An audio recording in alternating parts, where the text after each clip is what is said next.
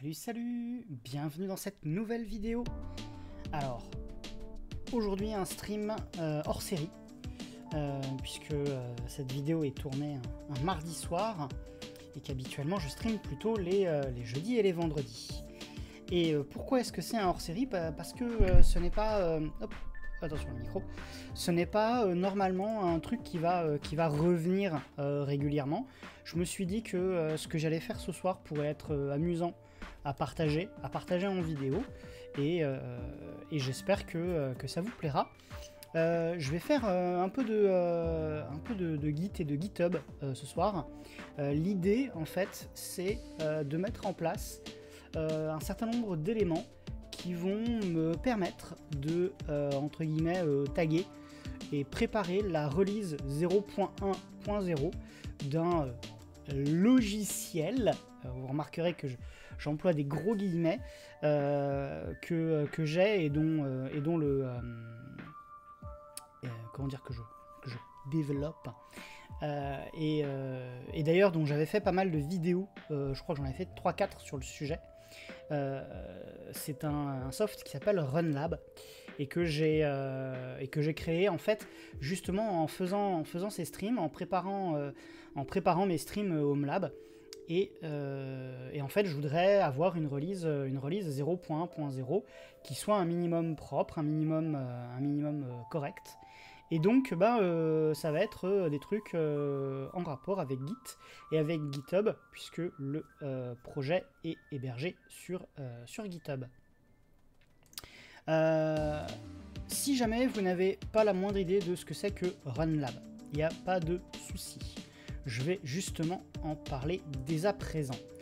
Euh, de toute façon, ça va être très simple. Hein. Déjà, je vais envoyer sur le, sur le chat le lien vers euh, le projet qui, est, euh, qui sera bien entendu mis dans le Discord. si jamais vous voulez rejoindre le Discord entre deux, deux sessions de stream, eh l'adresse est en dessous. Et normalement même, dans les informations de la vidéo, que ce soit sur Twitch ou sur YouTube, vous devriez pouvoir trouver le lien cliquable directement pour rejoindre le Discord. Donc, qu'est-ce que c'est que RunLab? Eh ben, euh, hop, je vais déplacer l'onglet ailleurs, et puis je vais vous montrer la page du coup du, euh, projet pour vous expliquer ça. Hop. Et Voilà, voilà. Alors, RunLab, eh bien tout simplement, voilà, à la base, c'est un script shell, tout, ce qu'il y a de plus simple, qui permet de démarrer et d'éteindre une liste de euh, machines virtuelles et de réseaux virtuels. Euh, l'idée, c'est que euh, lorsqu'on utilise libvirt sous, Linux, voilà, comme, comme ici, voire même ce que je peux faire, c'est me connecter sur cette machine-là, donc là aujourd'hui j'ai euh, Virtual Machine Manager, euh, l'outil graphique, qui me permet de euh, relativement simplement faire un clic droit et faire Run, voire même je, peux cliquer sur le petit triangle, mais c'est pas toujours très pratique. Alors, salut à toi Manon. J'ose espérer que j'aurai fini à 22h, 22h15, on va dire, 22h20 grand, grand max en tout cas c'est l'objectif. Mais de toute façon, t'inquiète pas, il y a toujours le replay. Euh, et merci d'ailleurs Manon de toujours être présente, fidèle au poste, euh, quels que soient les sujets, euh, parfois, un peu, un peu donc, j'en profite pour ouvrir la gourde avec de l'eau fraîche, parce que bon, maintenant on est au mois de mai, il fait chaud, donc il faut s'hydrater. Euh, en est à Donc là, on a, euh, on a l'outil graphique Virtual Machine Manager. Et puis sinon, quand on est en, euh, version ligne de commande, on a la commande éventuellement virsh. On peut faire liste, hop, liste Ou alors même, hein, on peut aller là, on peut faire virsh, liste, hop, liste mon et je peux même, euh, d'ailleurs, je vais aller ici, non, ici, voilà. Et si je fais un petit SSH Marvin, pouf, euh, et euh, si je fais un petit sudo virsh list mon hop, et eh ben, on, a, on a là, voilà, on a, on a la liste des, des VM. et donc ensuite, on peut lancer, si on le souhaite, voire même on peut faire, au lieu d'un dire SH list, je crois qu'on peut faire un net list. Voilà. Ah non, c'est net peut-être. net. Non, c'est pas. Oh, j'ai un trou de mémoire. Salut Xavier, ouais, c'est un petit live hors série. D'ailleurs, je vais baisser un peu le son de la musique. Euh... Voilà. Euh, alors Manon, on est sur le repository de RunLab. Hop, que je vais remontrer du coup. Euh, non, pas celui-là. Hop là, un petit peu chaotique ce soir. Hop. Et donc, euh, et donc ce RunLab, alors je ne vais pas encore y venir tout de suite, mais euh, on a... Euh, salut à toi Gizmo Normalement on doit avoir un net quelque chose. Ah voilà, net-list par exemple. Si je fais un moins wall, hop, voilà. Et donc je peux lancer ensuite, je peux faire un net start, je peux faire un net stop, un start ou un stop de mes machines virtuelles, qu'on appelle des domaines en terminologie les. Donc à la rigueur, euh, bon, on peut se débrouiller, on se dit, euh, tiens, euh, éventuellement, si on allume toujours les mêmes VM pour faire différents, différents tests sur différentes, on va dire, différentes typologies, par exemple, et eh ben, ouais, ça, ça va 5 minutes. Et ce que je me suis dit, moi, en créant RunLab, c'est plutôt que de s'embêter avec juste une, une, pauvre petite liste euh, qu'on met dans un SH, c'est d'aller un peu plus loin et donc de créer euh, un, petit, euh, un petit script, un petit logiciel qui permette de prendre dans un fichier de configuration toute la liste des réseaux virtuels si jamais on en a besoin de plusieurs et toute la liste des machines virtuelles qu'on voudrait, qu'on voudrait démarrer. Est-ce que ça me paraît malin de save des configs de Switch dans un GitHub GitLab local en mode versionning avec 30 jours de rétention euh, Alors, c'est une excellente question, euh, Gizmo. Euh, alors, sur GitHub directement, je, suis perplexe. Sur un repo Git, sur un repo Git local ou un GitLab interne à un réseau, un GitLab, un Git un Git je sais plus si on dit Gitea, Giti, ou, euh, ou pourquoi pas une machine avec, euh, avec un repo Git pour centraliser les choses, je pense que c'est pas bête. Je pense que c'est pas bête. Euh, d'ailleurs, je sais pas si Gizmo, tu avais vu les, les, les, vidéos quand, quand, elles étaient sorties, mais d'ailleurs, je crois qu'elles sont en replay sur YouTube. Il y a, j'ai fait des, des, vidéos sur LibreNMS et dans LibreNMS, il y a un plugin euh, pour euh, un outil qui s'appelle, si je vais retrouver le nom, si je vais retrouver le nom, euh, c'est pas Rancid, c'est voilà. Alors il y, a Rancid et il y a Oxidized. Et donc tu as, je crois que tu as un plugin pour les deux. Ouais, les voilà les, les, les vidéos sur, c'est bien fait. Ou bien c'est pas fait du tout. Non, non, non, le bon vieux TFTP. Euh, ouais, Oxidized, exactement, comme ça. Et euh, en fait, euh, Oxidized te permet de stocker ça sur. sur. comment dire Sur un dépôt Git. Alors, moi, ça n'avait pas été très, très, très fonctionnel dans ma vidéo à l'époque. maintenant, j'ai déjà vu des, des, endroits où tu as ce genre de choses qui sont parfaitement parfaitement fonctionnel, en place, euh, et, du coup tu peux voir l'évolution de la configuration. Le, le seul truc, c'est euh, effectivement euh, la problématique, c'est que généralement les, les configurations d'équipements réseau type switch ou routeur ou, ou, répartiteur de charge quand c'est comme ça, c'est que tu vas avoir effectivement la partie secret avec les noms d'utilisateurs. Généralement, tu vas avoir un... Le fichier va contenir généralement des... Euh, euh, comment dire Les mots de passe seront rarement en clair, mais euh, il n'empêche que tu as des outils aujourd'hui qui permettent de, de, casser les chiffrements, des hash des, des, fichiers de configuration. Donc c'est assez, c'est relativement faible. Donc il y a quand même ce point d'attention. Il faudra s'assurer que le dépôt Git sur lequel tu mets ça soit un minimum protégé.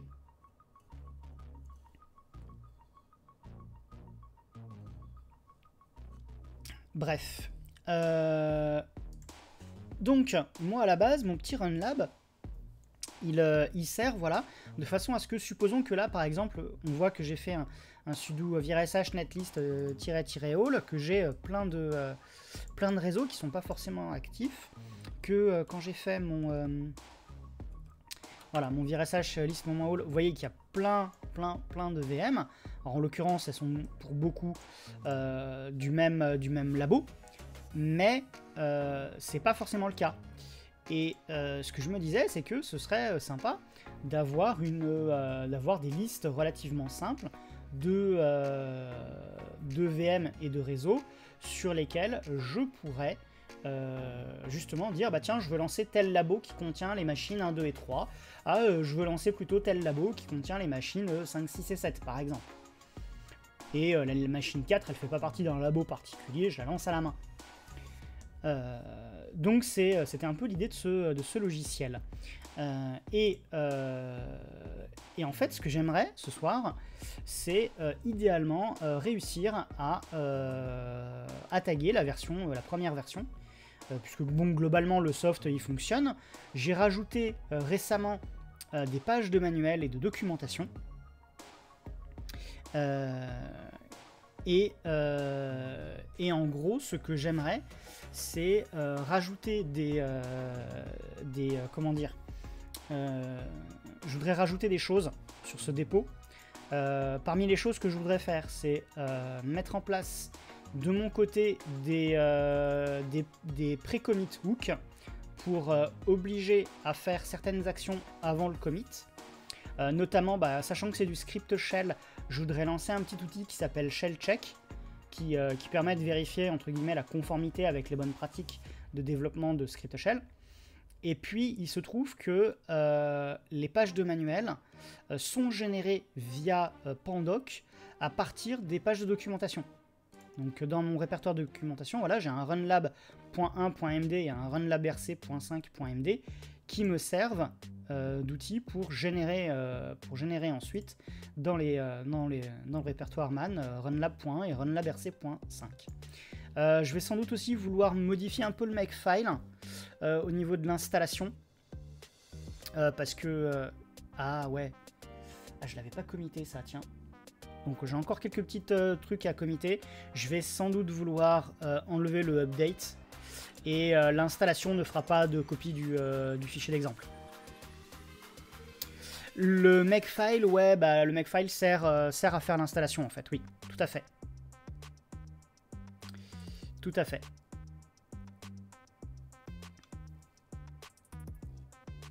Setup.exe. Euh, c'est un peu ça. Après, euh, après, ce qui serait super chouette dans une version ultérieure, ce serait que pourquoi pas je euh, je fasse du package. Par exemple, que je fasse un paquet Debian, un paquet euh, RPM. Euh, je sais même pas si libvirt est dispo dans package source. donc je pourrais, si jamais il y avait libvirt, je pourrais peut-être tenter un, paquet, un paquet package source. mais, mais je le ferai très probablement pas en, direct, puisque bon, bah, de toute façon, euh, euh, euh, a déjà fait des vidéos sur, sur Package Source, donc ce serait un peu redondant de ma part. Mais bon, on n'y est pas, on n'y est pas. Hein. On, va aller, faire les choses, j'ai envie de dire une étape à la fois. Et ce sera déjà pas mal. Euh, alors, Manon, Manon, Manon, Manon, tu as dit plein de choses intéressantes. Je suis persuadé que c'est le cas. Euh, sinon, il faut chiffrer par ça, ok. Et au boulot, la conf de l'ensemble des serveurs sous la forme de O2 dans un GitLab interne. vous avez verrouillé au, bah oui, aux membres de l'équipe DevOps. Les secrets sont placés dans le qui passe de l'équipe. Logique. En attendant de mettre en place un jour un Ansible avec Docker, les manpages. Euh, j'ai pas fait une vidéo euh, là-dessus. Sur les manpages Non, j'ai pas fait de vidéo sur les manpages. Je l'ai fait tout seul dans mon coin. Euh, bon. Bon, bon, bon. Euh, Qu'est-ce que j'ai fait déjà de... euh,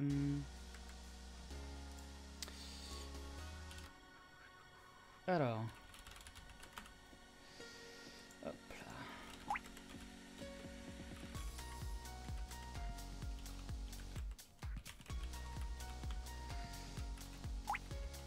Ok, j'ai mon Makefile non commité, je l'avais copié ailleurs. Donc je vais aller, euh, je vais aller euh, récupérer ça.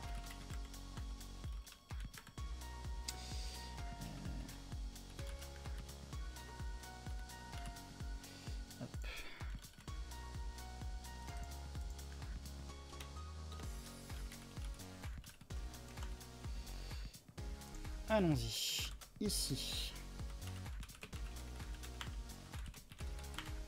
Ok, voilà, là on parle un peu plus. Euh, Pas de soucis Manon, à tout à l'heure. Alors.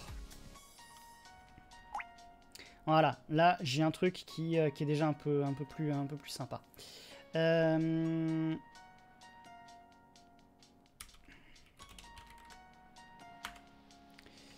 Ce que je vais faire, c'est que je vais l'appeler install ici. Ça, je vais l'enlever. Euh, Install programme, install man, install data et euh, donc lui, il va pas aller dans euh, dans RunLab RC. Je vais enlever le 6 qu'on veut dire là. Hop. Et euh, et ce que je vais faire, c'est que je vais aller l'envoyer dans un répertoire d'exemples. Euh, je dois avoir. Est-ce que j'ai fait Ah tiens, j'ai pas fait de document. J'ai pas fait de. J'ai pas fait de répertoire de documentation. Ok, on va faire ça. Allez hop. Remarque sera install data, donc on va pas s'embêter. Par contre, ce qu'on peut faire, c'est qu'on peut faire un. euh, on peut faire un docdir. Docdir. Euh, hop, et il vaudra euh, préfixe share doc. Euh, ceci étant, je suis en train de me dire, hop, usr share doc. Euh, user share doc. Ah oui, là je suis sur Marvin. Je suis pas sur la bonne machine. Hop, là. USR share doc. Voilà, là on a plein de logiciels. J'ai pas déjà. Si on regarde genre XZ par exemple, voilà, on a des trucs, author, scopying, ce genre de choses là. Ok. Euh...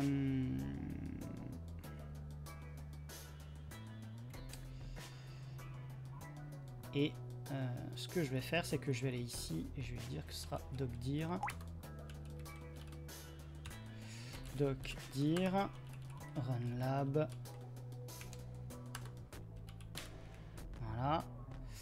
Euh, Pourquoi j'avais... Ah oui, le moins C, oui. C'est une option qui est pas portable en fait. Euh, et... Hop. Et ce que je voulais faire, c'était... Voilà, doc.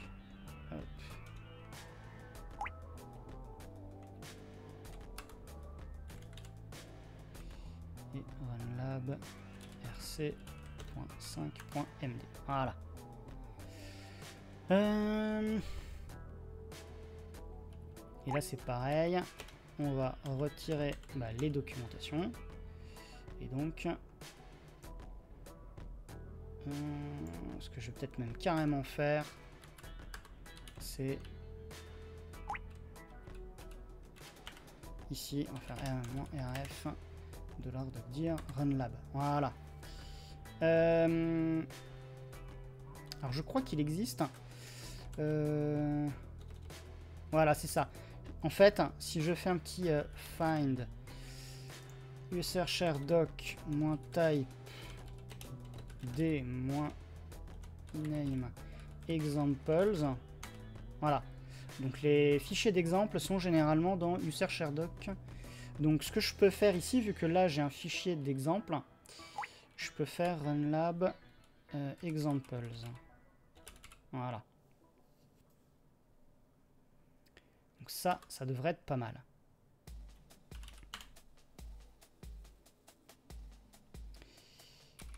Et euh, alors,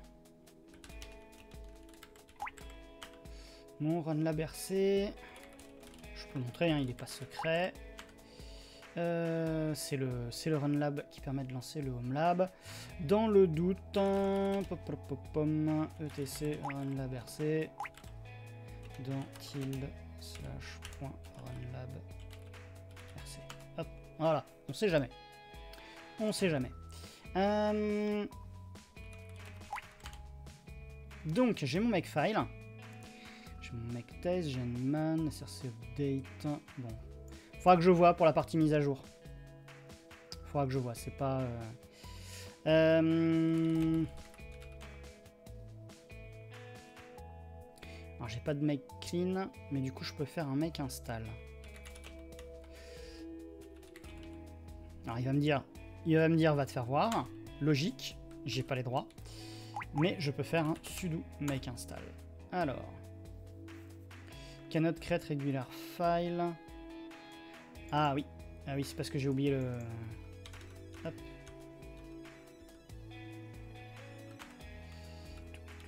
Ici. Voilà. Allez, on recommence. Uh, is not a directory, no such... Ah.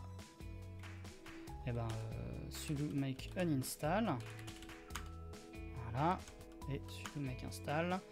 Non, is not a directory. Ah, euh, alors man install. Qu'il n'y a pas un truc sur la création des répertoires. Euh, Moins des directory, treat all argument as directory names, create all component, create all... Ah, faut peut-être que je fasse un moins D. Sauf que la question que je me pose, c'est est-ce que l'option moins grand D est une option qui est euh, existante sur un système BSD Et... Euh...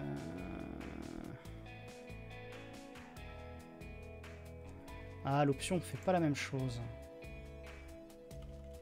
L'option fait pas la même chose. Ça, c'est ennuyeux. Ça, c'est ennuyeux.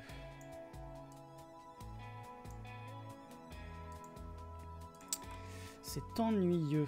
Alors, je vais me connecter euh, sur... Hop. Je fais un man, euh, man install. Donc là, je suis sur un système NetBSD. Euh, et donc j'ai bien un euh, moins grand D. Hop, voilà.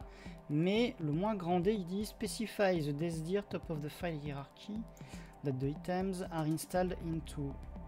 If my metalog is in use, a leading string of desdir will be removed. Ouais. Ça a l'air bizarre. Par contre, ici, moins petit d, create directories, missing parent directories are created as required. Ok. Et est-ce qu'il y a un moins petit d ici, treat au regard du monde? Ah ouais. Ah, le, install, BSD et le install euh, GNU sont franchement pas les mêmes. Hein.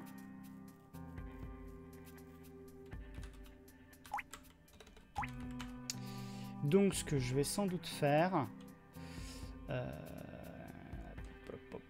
c'est faire hein, euh, ici un mkdir -p de dire runlab examples. Voilà.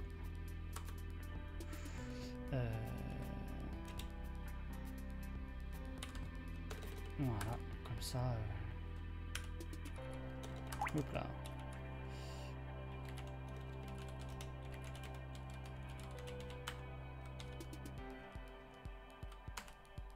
Ok, là ça a l'air d'être bon.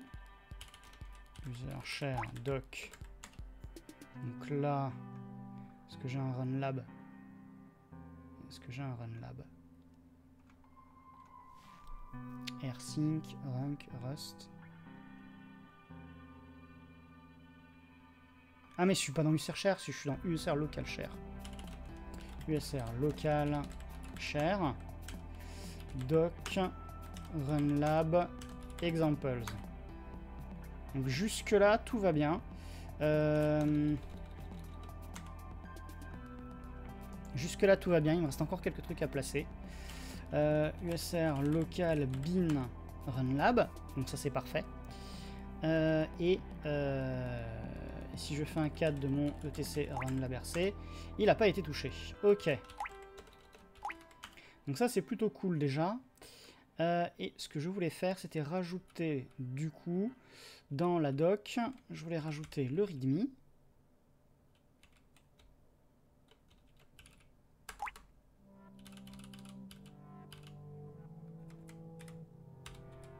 readme.md. Si je dis pas de bêtises, j'ai un readme.md et le license. Et le license. Hop.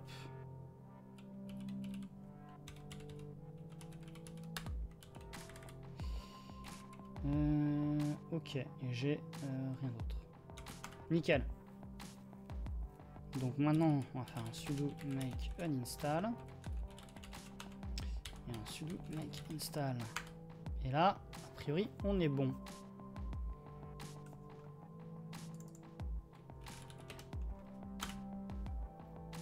Voilà, on est bon.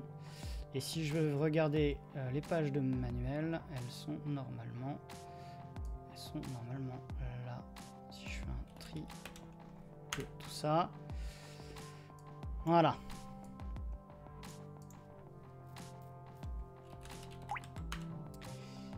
Et donc normalement...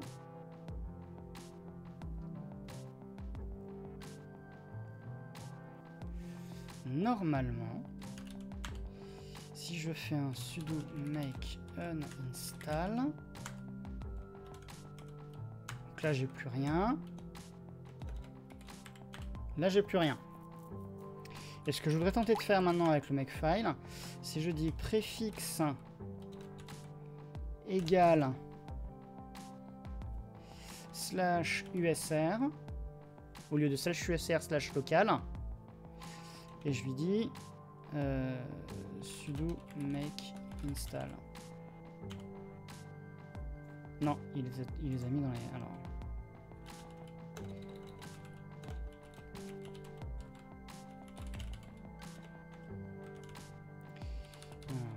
sudo make. Ça doit être préfixe égal slash usr comme ça, je pense. Install. User share doc. Voilà, très bien. Parfait. Comme ça. Comme ça, si quelqu'un veut le mettre dans slash usr bin, usr share, ce genre de choses là, là on est bon. install. Voilà. Très bien. Et donc ça, normalement, ça n'existe plus. Voilà, nickel.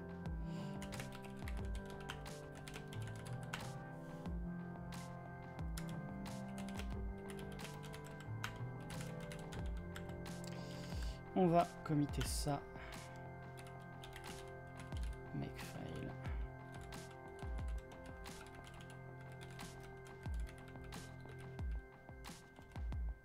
Alors.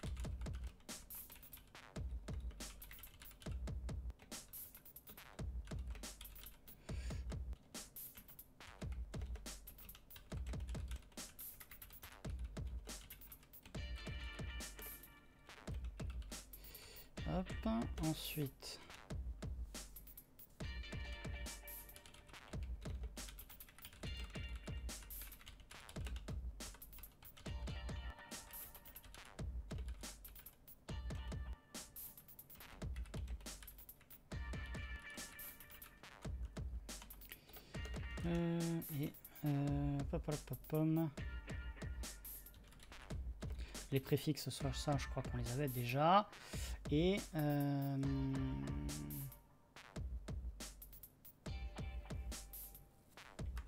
D'ailleurs, ce qu'on va faire, ce qu'on va faire... Hop,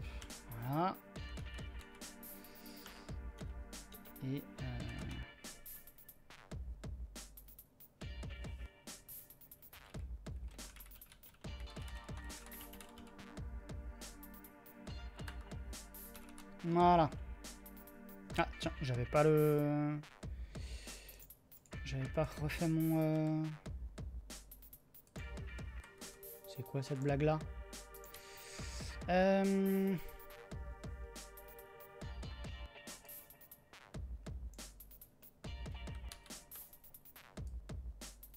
Bien, je pensais l'avoir fait. Ça a dû sauter au niveau du repo.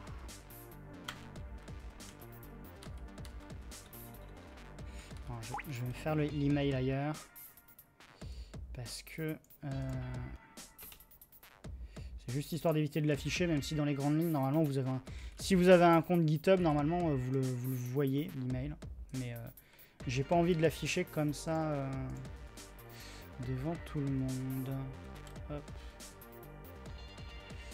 Alors, qu'est-ce que j'ai pris comme adresse mail?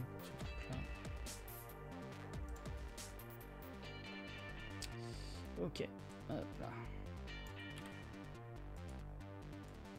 Alors. Hop, et c'est reparti.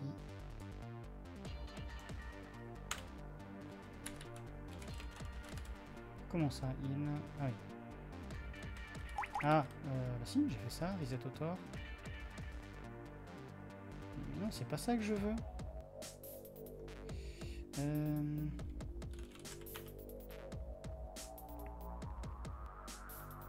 que je l'ai fait sur ah je l'ai fait sur la mauvaise machine. Hop.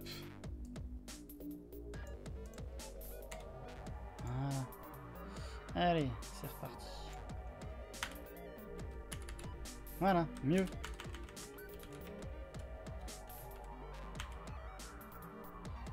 Voilà, c'est push. Alors normalement, je vais aller vérifier ça tout de suite. Hop. Alors.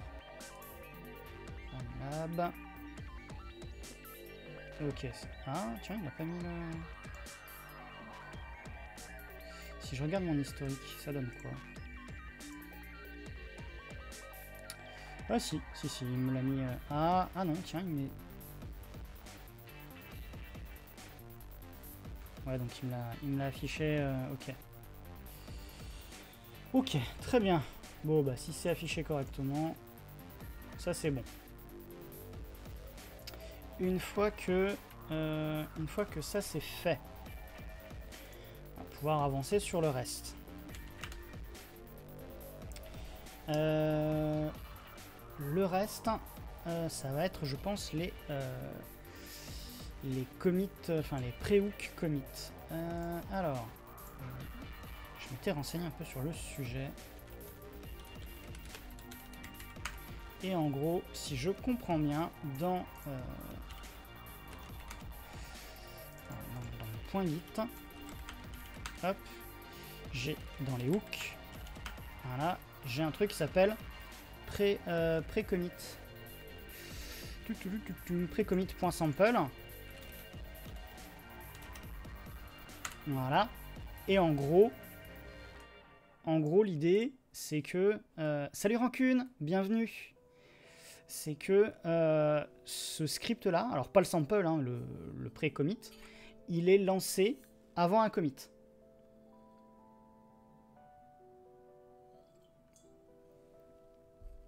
Et ce que j'aimerais faire ensuite, c'est faire en sorte que ce commit, enfin ce pré-commit script, soit inclus dans mon repo. Et idéalement, je dis bien idéalement, j'aimerais faire en sorte que euh, faire, ce truc-là, ce soit obligatoire. Sauf que, euh, sauf qu'aujourd'hui, ça, n'est pas vraiment possible. Et euh, le seul vraiment moyen, ce serait d'avoir en fait une sorte d'intégration continue qui, euh, qui met en place, enfin qui, qui entre guillemets vérifie les mêmes choses.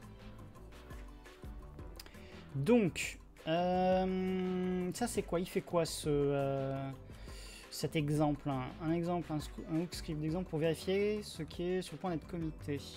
called by git commit with no arguments. The hook should exit with non-zero status after issuing if he wants. Ok, to enable this hook, rename this file, pre-commit. Ok. Si git ref parse verify, gna. Initial commit, diff against empty. Ok. If you want to allow non-ASCII file names, set this variable to true. Ok.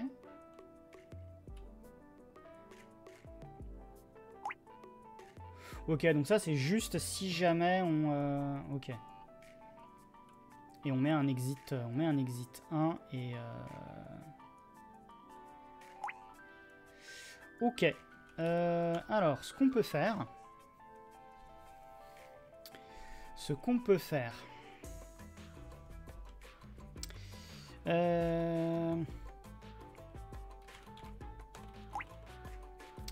On peut faire un petit vim euh, pop, pop, pop, euh, de euh, pré-commit. On va lui mettre un petit shebang, euh, et usr bin en bash. Et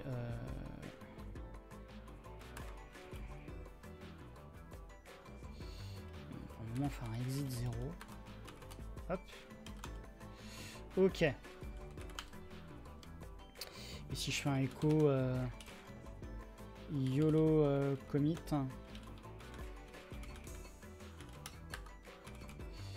Euh, ce qu'on va peut-être faire, c'est qu'on va faire un git checkout -b YOLO test. Voilà. Et si je fais un petit VM de euh, comment on va euh, on va aller lire le runlab.sh et puis euh, et puis à la fin ce qu'on va faire c'est qu'on va mettre tiens useless comment. Hop. Moins m useless commit et là, il dit le pré-commit qui a été ignoré. Ah, parce qu'il n'a pas été... Ok. Est-ce qu'à l'occasion, je pourrais faire un TP live sur une solution de centralisation des logs Greylog 2 et éventuellement montrer un analyseur de logs euh... Alors, Gizmo, ce serait pas un TP, je pense. Euh... Honnêtement, la centralisation des logs, euh, j'ai toujours fait du R6 log. Euh, et après, et après et après, je suis pas forcément le mieux placé pour parler de ça. Euh, ça pourrait du coup pas forcément être un TP sur le sujet, mais plus une découverte.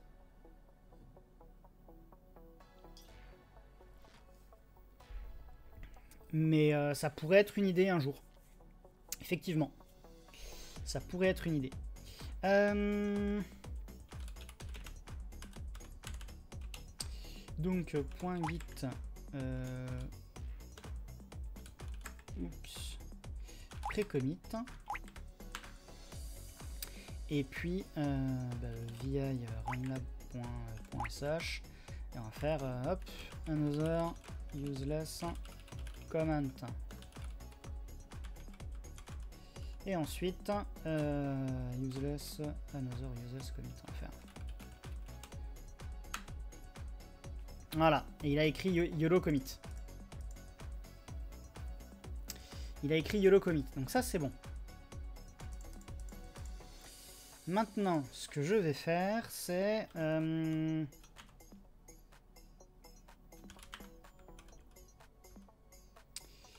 c'est que je vais aller éditer mon petit euh, point git hook pré-commit. Euh, et euh, ce qu'on va faire, c'est qu'on va écrire ici euh, pré-commit checks for runlab.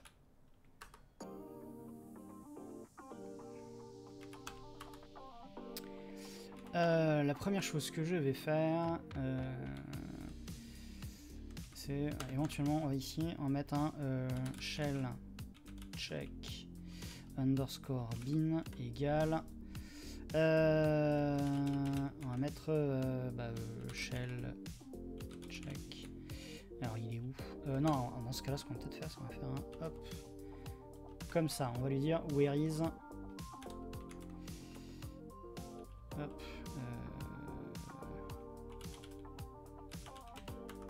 Je crois pas que je l'avais fait comme ça. J'avais fait, comment là? C'est which, pas where is. Oh là là. Hop. Check. Hop. Ensuite, on va faire un petit euh, bah, euh, dollar. Shell check bin. Euh, moins moins help. Si je fais shell check, moins moins moins help, il dit quoi? Il dit usage. Mais alors la question que je me pose, c'est si je fais un dollar. Il, il écho. Ouais, il, fait un. Il fait un. Ok, il fait. Ok, nickel. Hop, alors. Donc il a fait un exit, euh, il a fait un exit 0. Euh, donc à partir de ce moment-là, si je refais un petit runlab.sh, euh, alors vu que je vais pas arrêter de les modifier, ces deux fichiers-là, on va faire un petit vim. On va éditer le runlab.sh, là, et on va, éditer celui-là aussi. Voilà. Donc, ce que je vais faire, c'est que de toute façon, je vais utiliser un peu les mêmes, euh, les mêmes choses. Donc, tant qu'à faire... Ah oui, tiens, j'ai mis bin bash directement et pas usr bin env bash. Hmm.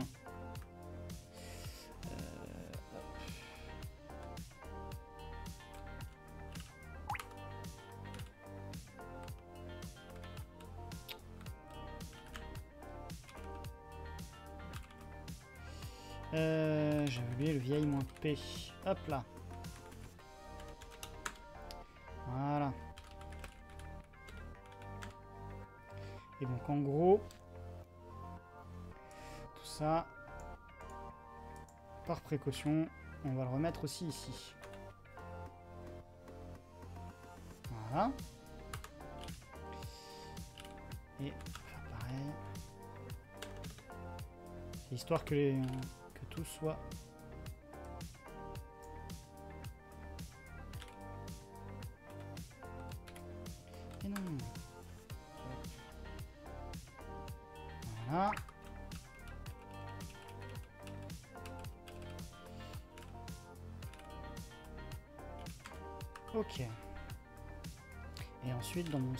J'avais fait un functions. Et puis un, euh, puis un truc genre... Euh, ah oui, j'avais mis le mutex et main. Tiens, je vais faire ça, je vais faire main ici. Variable. Hop. Main. Voilà. Là, on est bien, je pense. Ensuite, on va revenir ici. On va quitter ça. Et je vais aller dans Git, GitHub, moi-même, RunLab. On branch le test nothing to commit. Ok. Euh, donc, si je reviens ici et que je fais euh,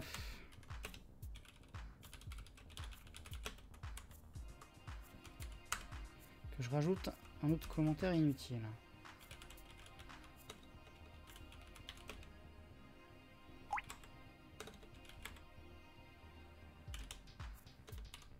que je rajoute un... Euh,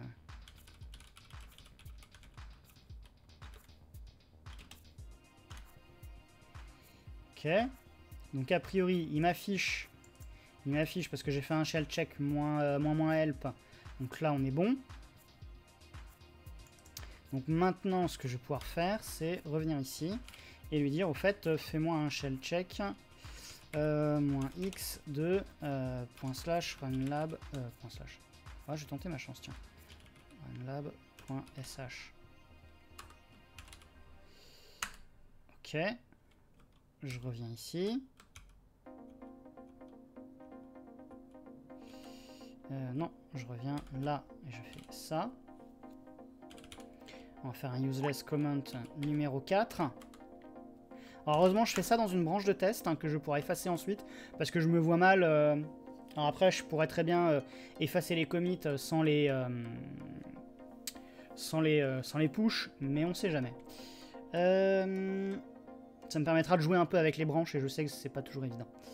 Donc ça me permet de faire un peu de un peu de comment dire d'exercice à ce niveau-là.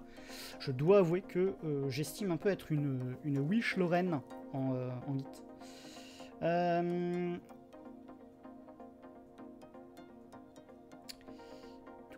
où est-ce que j'en étais moi? Oui, j'ai modifié mon, mon truc. useless commit numéro 4. A priori, ce serait all green. Tout irait bien. Donc ce que je vais faire, c'est aller ici, et éventuellement, on va lui dire...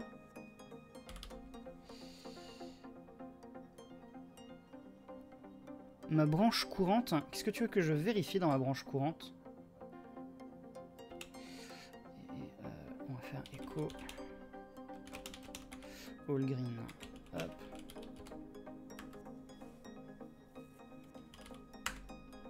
Hop.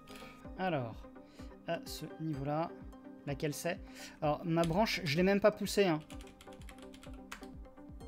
Elle s'appelle YOLO Test. Et une fois que j'aurai euh, fini mes bêtises, je vais désinguer ma branche. Euh, et, une fois que j'aurai désingué ma branche, je créerai sans doute une, branche, euh, comment dire, une branche de feature dans laquelle je vais rajouter mon, mon mon prehook commit pour qu'il soit dans mon, euh, dans mon repo. Et du coup, le euh, script de prehook, euh, ben, le, vrai, le vrai prehook entre guillemets dans mon point git, ce sera un lien symbolique vers, vers un répertoire prehook qui sera dans le, qui sera dans le, dans le repo.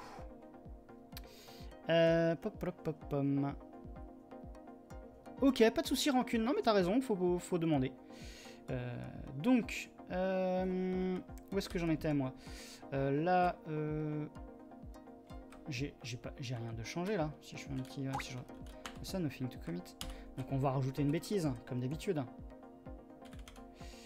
Euh, hop, on va changer un peu. On va faire. this is a novel. Comment. Hop, allez. Donc ici, si je fais un petit git status modified, ok.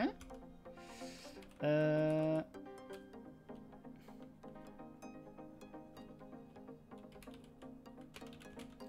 je raconte des bêtises. Hein, j'en profite, je mets des, commits, euh, des messages de commit complètement, euh, complètement barrés.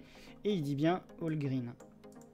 Ok, donc on pourra peut-être mettre autre chose, quelque chose d'un peu plus intelligent. Et on va dire, hop, shell euh, check euh, test past. Ok. Euh, juste par précaution, je vais tester un truc. Je reviens là, pardon. ce que je vais faire, c'est que je vais modifier.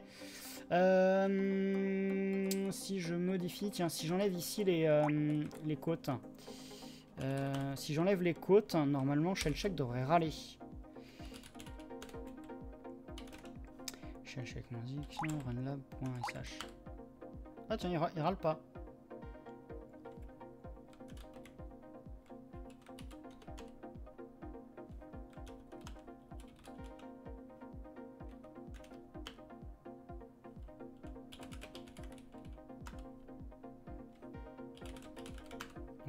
J'ai viré les... Ok, donc là, ça l'embête pas. Euh, si jamais j'enlève ça. Donc là... Non, ça l'embête toujours pas.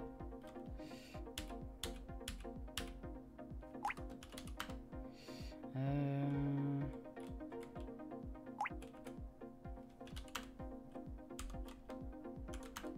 Non, toujours pas.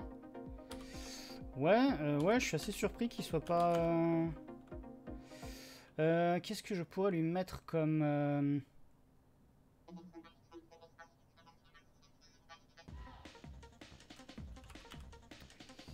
comme truc à la con? Qu'est-ce que je pourrais avoir comme erreur euh,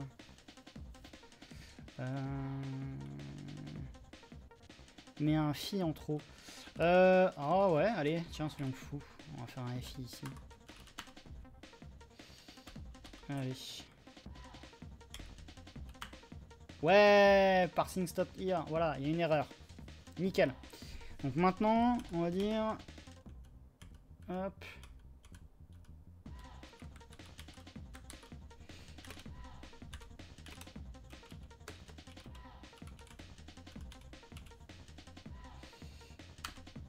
Ah, bah voilà.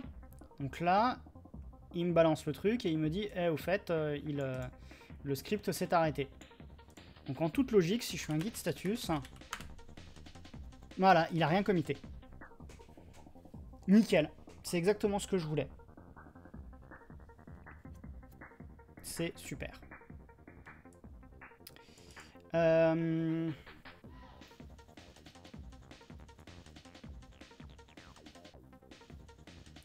ça, c'est plutôt pas mal. Ça, c'est plutôt pas mal. Ce que je vais faire, c'est que je vais faire du ménage. Je vais enlever mes commits, enfin mes modifications inutiles pour le moment. on, en, rajoutera peut-être après. Euh, il y a un autre truc que je voudrais modifier au niveau de mes, euh, niveau de mes commits. Euh, donc ce que je voudrais, parce que là en gros, si je vous remontre au niveau de mon makefile, j'ai un... Ah, salut à toi XGeeko, bienvenue sur, sur la chaîne. Alors, selon vous, ok, on est sur Twitch, hein, XGeeko, donc pas de vous ensemble. Hein. pas de vous par ici, hein on est, euh, on est entre nous. Euh, est-il possible d'être spécialisé dans le dev full stack en même temps d'avoir une expérience dans l'administration système et la cybersécurité euh, Xgeeko habite au Canada, Québec et pas certain de quel programme. Alors. Euh... Ah là là. C'est un sacré morceau. Euh... Je...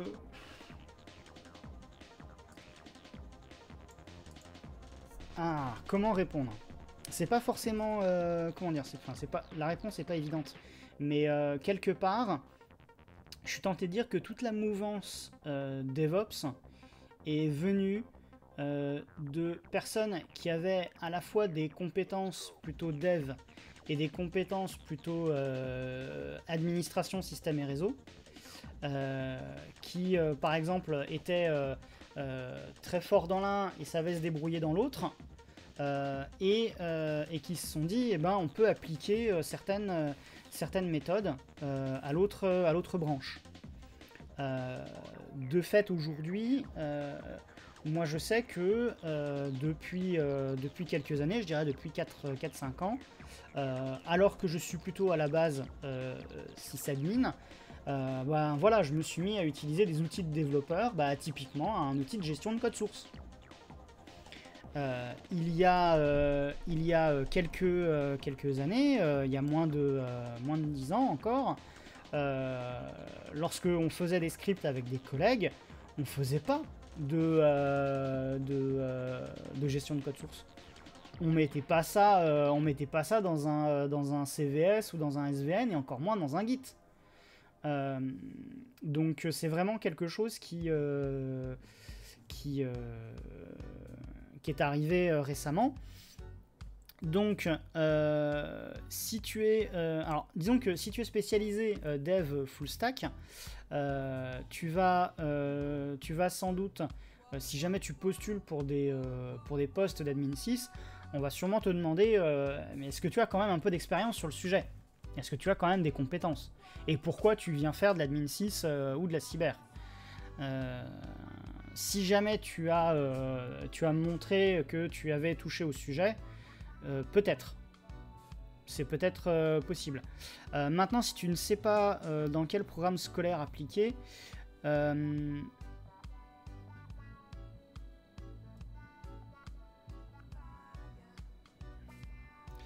Euh, bah après, j'ai envie de dire, globalement, on a la chance aujourd'hui de vivre dans un, dans un monde où, où beaucoup de documentations sont accessibles. Donc si tu, si tu dis que tu aimerais être dev mais que tu t'inquiètes pour tes projets perso de manquer de ressources pour ce qui est de l'hébergement de sites web ou de jeux vidéo, honnêtement, t'inquiète pas pour ça euh, ça s'apprend. D'ailleurs, ça tombe bien, euh, j'ai des vidéos en cours sur, euh, des vidéos en cours, des vidéos qui ont été faites sur, sur justement installer et paramétrer un serveur web. Alors certes, ça fera pas, ça fera pas, ça fera pas de toi un expert, mais c'est toujours un pied à l'étrier. donc à partir du moment où tu es, es, intéressé par les sujets et que tu les creuses, pourquoi pas euh, Maintenant, euh, maintenant c'est vrai que euh, si tu... Ça, dépend de comment tu... Voilà, c'est ça, c'est pas impossible, mais c'est vrai que c'est du grand écart. moi, je sais que j'ai eu l'occasion de faire, après 8 années d'admin 6 classique, j'ai eu l'occasion de faire 2 années de SecOps, et après, eh ben, euh, je me suis mis à faire de l'infra. Euh, donc, euh, donc rien n'est impossible. Après, c'est vrai que ben, quand on fait du développement principalement, c'est pas pour finir admin 6 après. Maintenant, rien n'empêche d'avoir quand même des compétences d'admin 6, ne serait-ce que effectivement pour pouvoir comprendre un peu ce qui se passe à côté c'est toujours bon d'avoir un peu de culture sur les autres, euh, sur les autres domaines. Enfin voilà, j'espère que, euh, en tout cas moi, j'ai pu t'apporter quelques éléments. Euh, je suis persuadé qu'effectivement Rancune et Manon en ont d'autres. Il y aura peut-être d'autres gens d'ailleurs sur, le sur le chat qui, qui, peuvent peut-être peut aussi apporter des éléments de réponse. Bien. J'ai donc Maintenant, le truc un petit peu plus, euh, un petit peu plus corsé, c'est que euh, quand je modifie mes, euh, mes, fichiers Markdown là de, de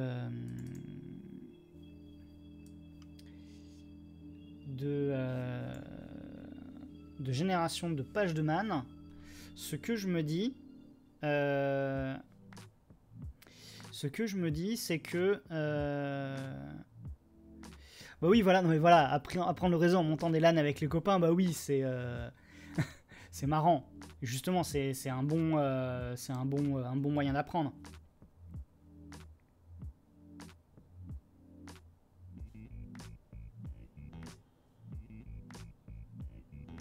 Alors, euh, donc mon histoire de, de générer les, les pages de man. Euh, c'est que euh, c'est qu'en gros, si jamais je modifie la version Markdown, euh, si je modifie la version Markdown mais que je modifie pas la page de man, c'est ça m'embête parce que les deux vont être du coup pas, pas, pas à jour.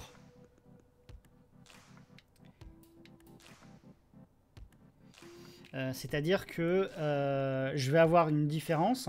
Supposons que j'ai créé une nouvelle option pour mon script, euh, que je la mets dans, la, dans le Markdown. Si je génère pas la page de man avec, avec Pandoc, je, je, vais avoir, je vais avoir un truc qui pose problème. Donc à la limite, à la limite, ce que je peux peut-être essayer de faire, c'est de regarder si soit le commit contient les deux fichiers, soit euh, soit je, génère dans le pré-commit, lors du pré-commit, je génère le euh, je génère à nouveau une page de man dans un répertoire temporaire et je fais un diff entre les deux. Et si le diff euh, a une ligne, a ne serait-ce qu'une ligne qui pose problème, Enfin, si le diff en gros n'est pas vide, là je hurle. Je pense que globalement, le, le fait de vérifier vraiment...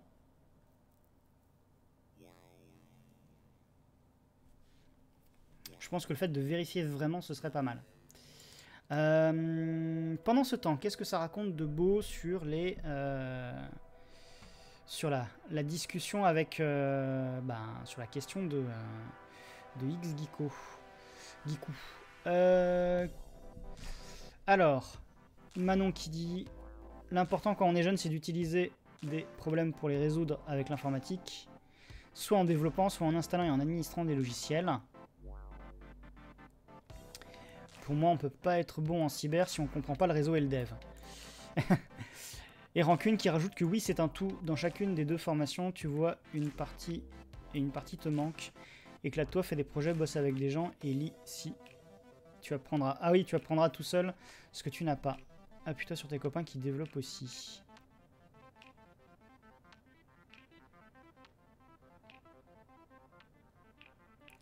Euh... Alors oui, effectivement, euh, en plus, euh, en plus si, tu, si tu pars d'un cursus dev et qu'ensuite tu veux te lancer sur la cyber, effectivement, tu pars avec des bonnes bases, potentiellement, surtout si tu as fait du C, j'ai envie de dire. Du C et du Python. Parce que de, mon expérience, j'ai l'impression que Python a été pas mal utilisé. même, même, si, de mon expérience aussi, j'ai l'impression que Go est en train de, de, de, devenir le langage à la mode, si c'est pas déjà le cas mais les bases de C permettent d'avoir euh, bon nombre de, euh, euh, bases en fait sur le fonctionnement des, systèmes. Et oui, effectivement, comme dit Rancune, la cybersécu, ça peut être web, système ou hardware. bon, du coup, je vais balancer dans mon pré-commit hook une, une vérif de, une vérif de la page de man en mode euh, est-ce qu'il y a un truc? Alors si jamais je fais si jamais je fais euh, bah, je vais peut-être rajouter un truc du genre déjà ici à ce niveau là pandoc bin égal where euh, which? Which pandoc voilà. Ensuite, on va faire un petit euh, pandoc. Euh, alors, dollar. Euh, pandoc. Hop là. Pandoc bin. Et qu'est-ce que j'ai mis comme, comme truc dans mon makefile Tiens, on va essayer celui-là déjà. Hop. Copier. Voilà. Et on va faire TMP. Alors du coup, je vais peut-être faire un MK temp. Hein, tiens. Euh, on, va, faire euh, work, work, work dir. Work dir égal. J'avais pas fait déjà un, MK temp là-dedans ou pas euh, pop, pop, pop, A priori non. Je sais que j'avais fait un mutex à un moment. Oh, mais le mutex, j'avais eu beaucoup de... Euh, non.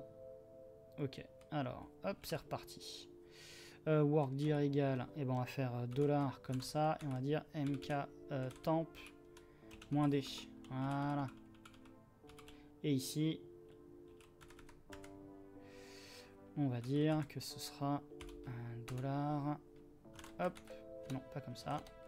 Comme ça, work dir. Euh, Donc déjà, je génère ça. Et ensuite, euh, je peux faire un petit euh, diff.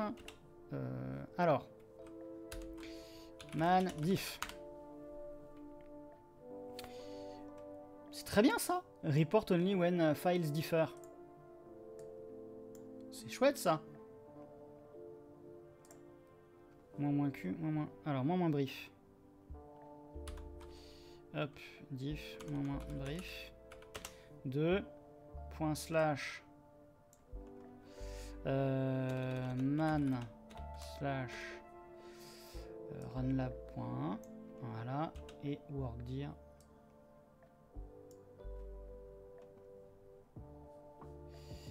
Euh, alors la question que je me pose, c'est des man runlab.1, runlab.2, je sais c'est pas très euh, runlab.2, hop.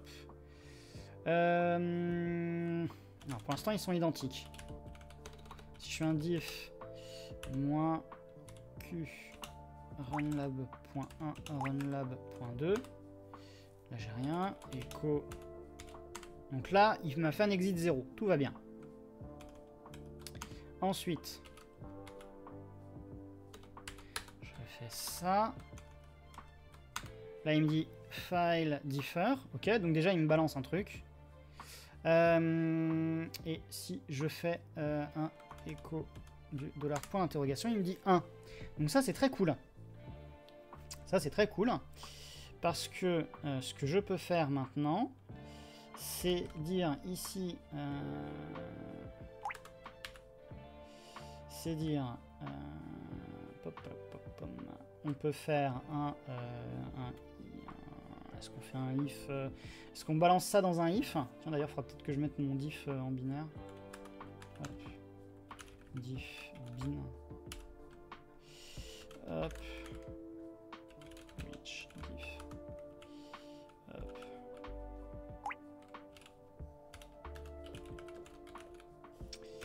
Euh...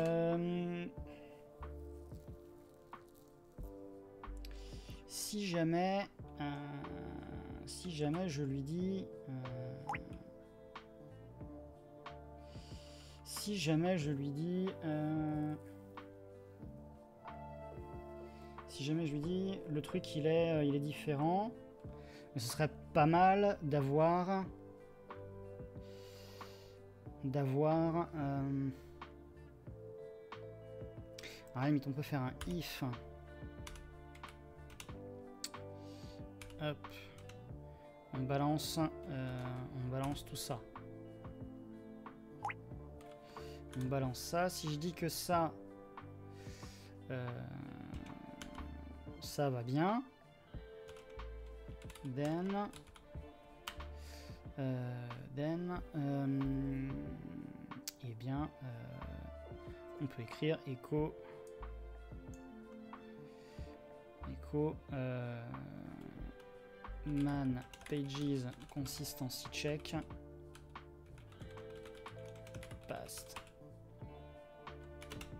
sera checks parce que on aura les deux man pages à faire et je, ferai une petite boucle pour les deux euh.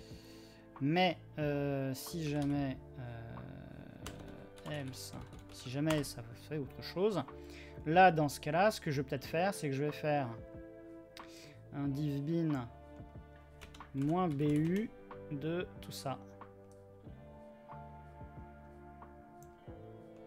Et d'ailleurs, je vais tout de suite vérifier à ce niveau-là, si je fais un diff moins BU. Ok, euh, j'aurais pas un moins color par hasard dans mon diff. Voilà, ce sera mieux. moins BU, moins moins color. Voilà. Euh, alors. Qu'est-ce que ça raconte de beau sur le chat? Xgeekou.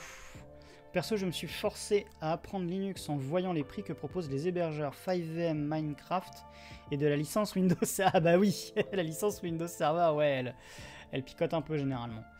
En quelques mois, je suis tombé très vite à l'aise sur Linux. Ça c'est cool, bravo ah, bravo. Euh, tu as aussi appris les bases du réseau, que ce soit au niveau de la couche 1, 2, 3. Ok, c'est cool, pour mieux comprendre la communication entre les postes informatiques. Bah c'est pas mal tout ça, surtout si tu as appris ça tout seul, bravo. Non, franchement, euh, bravo Xgeekou.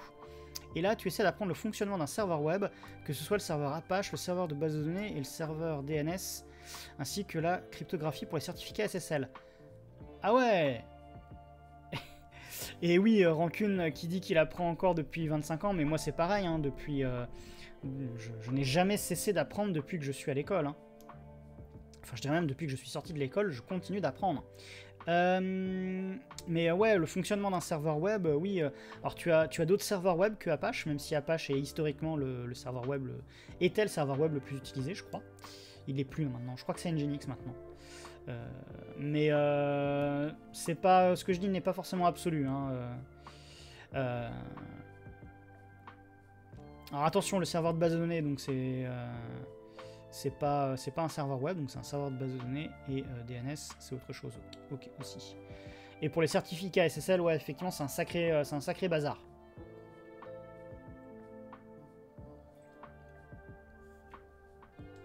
C'est un sacré bazar les, les certificats les certificats X509.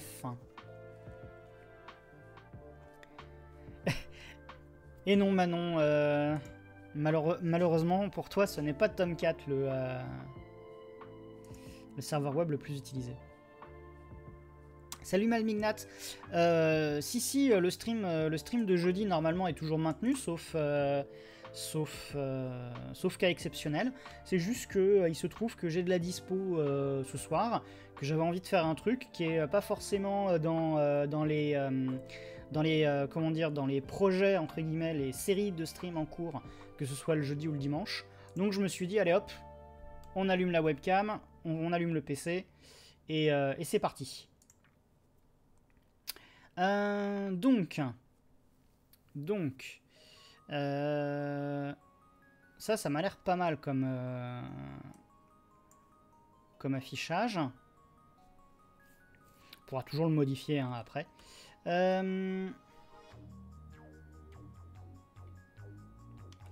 Et ensuite, euh, hop là, FI.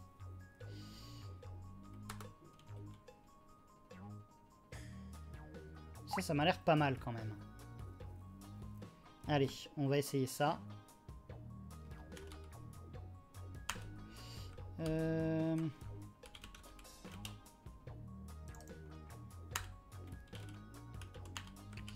Alors...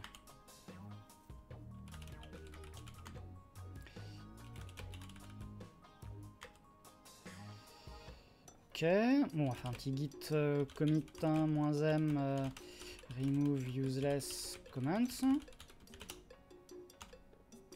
No pandoc in. Oh tiens, ah oui, c'est vrai que pan... ouais, j'avais essayé ça ailleurs.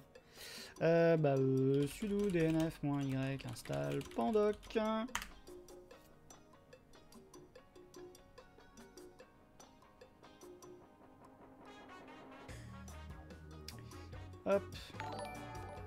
Oh, merci pour le follow XGeeku. Merci beaucoup. D'ailleurs, ça, me fait penser, tiens, euh, XGeeku... Euh, ah oui, alors, déjà, t'as as mis un petit message. Pour ce qui est du réseau, les ressources que l'on peut trouver sur le web est beaucoup plus... Ah, tu... Euh... Oh, euh, bah, j'ose espérer que du coup quelqu'un va te rencarder pour, pour de la documentation. Et, merci Manon, merci Manon d'avoir euh, offert un, un, sub, euh, un sub d'un mois pour, euh, pour Xgeeku. Merci beaucoup. et, j'espère que Xgeeku pourra aussi maintenant profiter des, et eh bah des, émotes, hein, des emojis custom, des, des, petits, des petits emojis moutons qui lui sont maintenant accessibles. Euh, euh, et, Manon qui a, euh, qui offert 13, 13 subs. Manon a offert 13 subs à la chaîne. Merci Manon. Faudrait que je, me mette d'ailleurs à, compter les, gens qui font des gift subs parce qu'il y a, y a, je crois, il qui était passé aussi filer des, filer des subs, si je dis pas de bêtises. Donc ça va être, euh, ça va être amusant s'il y a des gens qui se, euh, font des petites battles de sub. Euh. Tout ça, tout ça c'est pour, pour éviter que, comment dire, c'est pour être les premiers ici parce que sur une autre chaîne, il y a déjà quelqu'un et un anonyme qui ont, qui ont donné tellement de subs qui sont premiers devant tout le monde.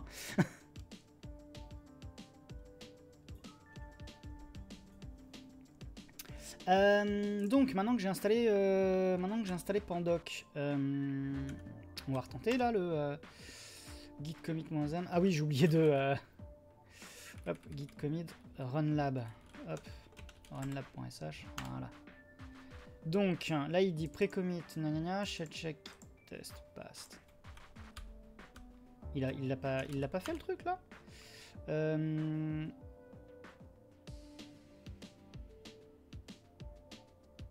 Il a fait quoi? Il a fait le pandoc. Je vais, je vais peut-être le relancer. Tiens, je vais. Euh, alors, git status. Donc là, on est bon. Et je fais un euh, make genman. Voilà, il marche. Git, euh, git diff. Pas de diff. Ok, ça c'est cool. Donc, euh, si je remets un commentaire bidon dans mon, dans mon, dans mon runlab.sh. Hop là. hop. Allez.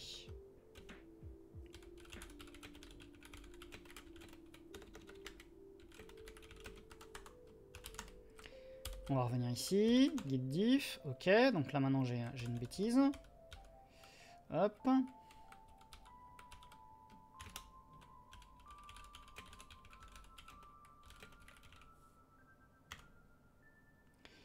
Pré-commit, shell check pass. Donc a priori, il a l'air content, mais... Il a l'air content, il m'a fait un exit 0, mais je suis un peu embêté sur un, point c'est que normalement, voilà, man pages consistency checks passed.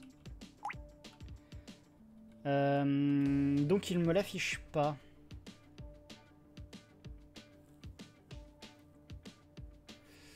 Euh, alors j'ai un doute sur la syntaxe. J'ai un doute sur la syntaxe.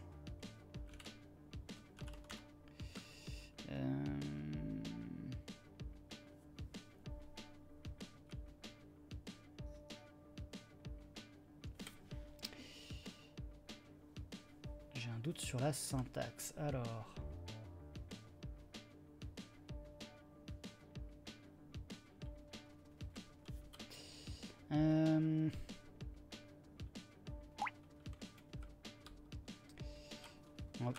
Essayer de s'y prendre autrement. Euh, on va lui dire.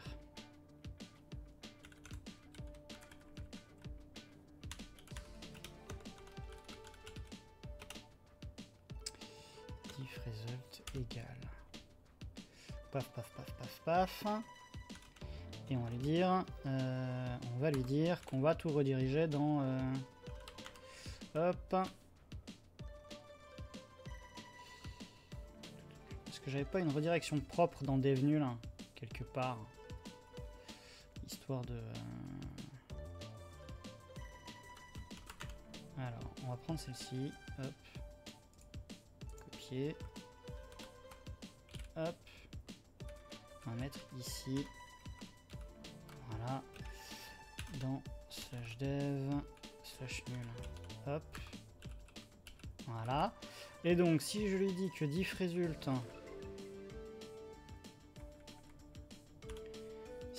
euh, alors, dollar, hop, comme ça, diff résulte, d'ailleurs, je vais peut-être rajouter même les hop, les côtes, égal, égal, 0. Voilà, alors... Ça c'est bon, allez. Euh, zut, j'ai oublié de remettre un commentaire débile. Hop.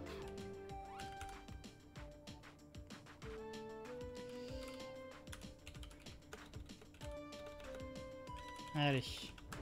Les commentaires inutiles sont légion. Euh, c'est pas le site pour poser les questions. Le meilleur site pour un dev 6, c'est Stack Overflow. Ah c'est pas mal.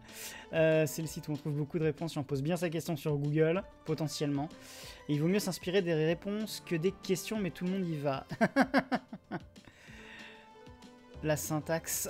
ah, oui, ah oui, pas mal. La syntaxe. Ah, j'aime beaucoup, Manon. La syntaxe. Magnifique. Magnifique. Ah oui, elle est, super. Euh... Et euh, alors à propos de Saint Rita, ouais non, je devrais pas le dire. Je devrais pas le dire. Je Oh, quoique, je dois bien en avoir d'autres au cas où. Alors, je vais le dire. Euh, dans une ancienne vie, euh, dans une ancienne vie euh, professionnelle, j'ai eu l'occasion de, de voir une, comment dire, une plateforme de sauvegarde, une plateforme physique, hein, c'est-à-dire des serveurs physiques, dans une baie, dans une salle machine, dans un data center. Et il se trouve que sur le côté de la baie, euh, il y avait une icône de euh, Saint Rita. Voilà. Il y avait genre euh, des gens, ils avaient, ils avaient imprimé, ils avaient imprimé une, la reproduction d'une icône de, Saint Rita et, ils étaient allés la scotcher sur le côté de la baie. Je n'ai pas, je n'ai pas exactement, je n'ai pas exactement le, comment dire, la raison de, euh, de pourquoi ils, en étaient arrivés à, vouloir prier Saint Rita sur, euh, sur leur plateforme de sauvegarde. Mais, euh, voilà. Alors, guide status. Ok. Hop. Useless commit R Légion. Parce que ça c'est drôle. Et là, il me dit shell check test passed. Ok. Mais il me dit pas le... Euh, il me dit pas euh, Echo Man Page Consistency Checks Past. Donc, ce que je vais faire, c'est que je vais aller passer en Xtrace. Hop.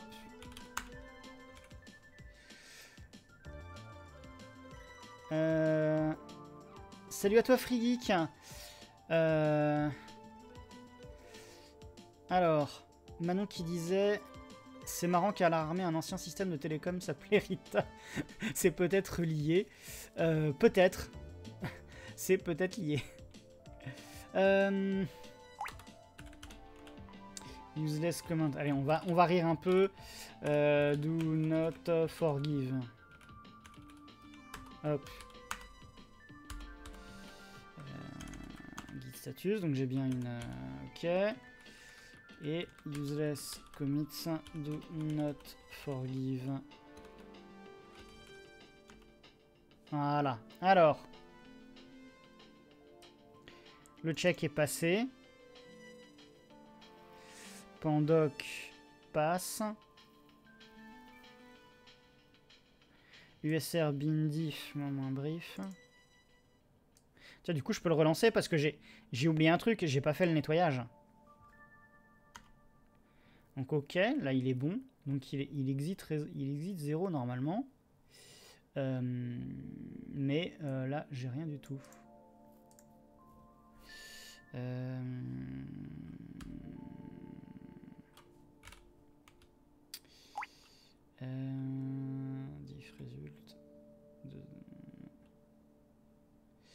Alors Xgeeku, sur quel projet je travaille? En gros, j'ai créé un petit script qui s'appelle RunLab sur GitHub et dont je vais reposter le, euh, lien euh, tout de suite. Hop. Voilà. Et euh, sur, ce, sur ce truc, j'ai rajouté notamment de la documentation, des pages de manuel. Et là, ce que je veux, c'est faire des, un, pré-commit hook pour que, avant de, de committer, en fait, euh, le script shell soit d'une part vérifié euh, via shell check.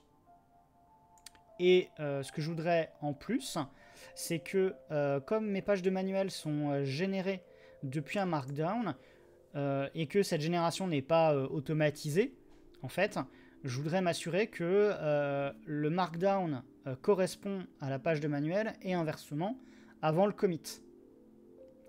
Et euh, si jamais euh, j'arrive à finir ça ce soir et qu'il me reste du temps, mais ça m'a l'air mal barré vu qu'il est déjà 21h33, en tout cas ici en France, euh, et que je voudrais finir à 22h, 22h20 ou plus tard, ce que je voudrais c'est me baser là-dessus pour mettre en place une intégration continue.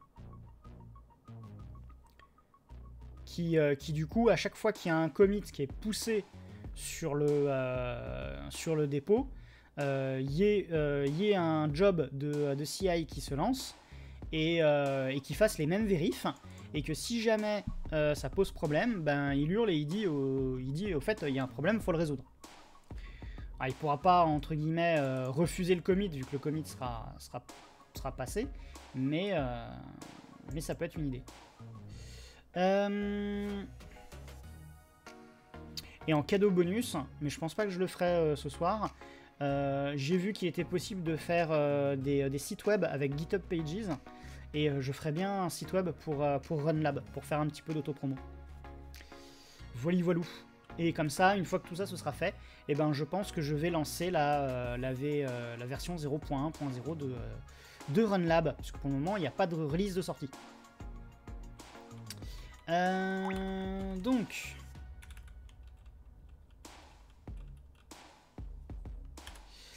C'est sympa, Shellcheck, tu connaissais pas, on peut même s'en servir de linter.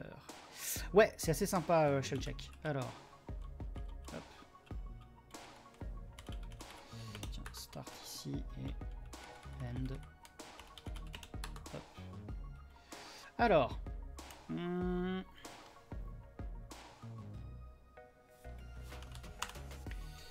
j'ai dû faire une boulette quelque parce que du coup, de ce que je vois, il me balance, il me balance rien du tout. Euh,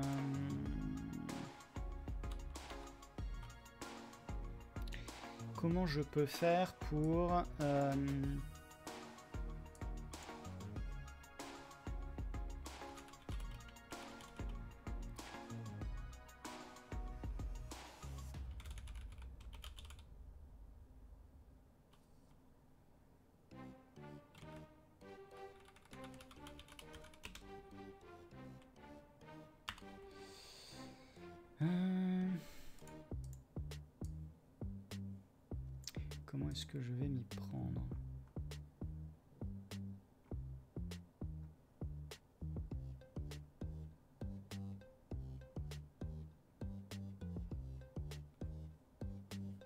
que je pourrais lancer la commande et faire une variable euh, résulte qui vaut le dollar point d'interrogation. Mais je me demande s'il n'y aurait pas moyen en bash.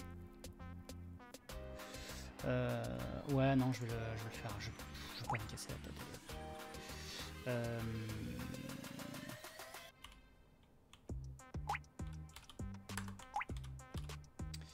on va faire comme ça. Hop, on va faire euh, diff résulte égal euh, et on va faire euh, ça, ça, ça, ça et on va mettre ici dollar point d'interrogation. Voilà.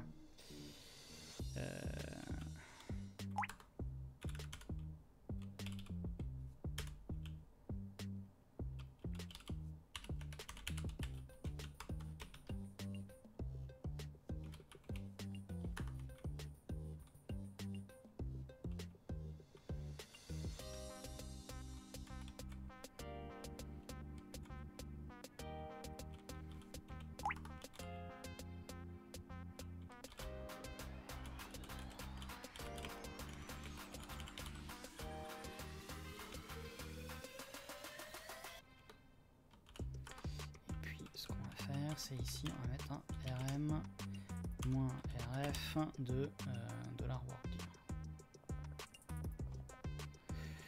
Dollar work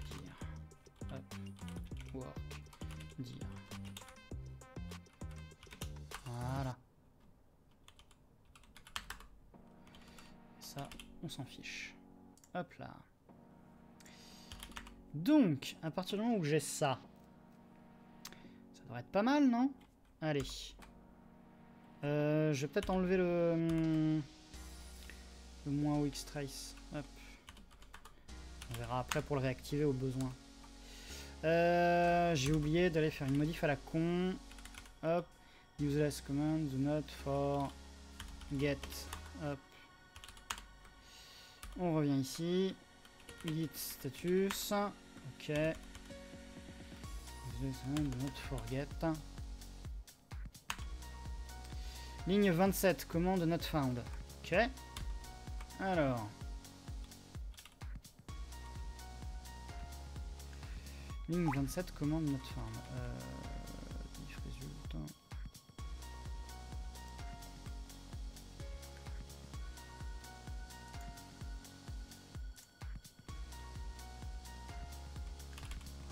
Allez, on va pas se casser la tête. Des fois, j'essaye de faire trop... euh, Hop.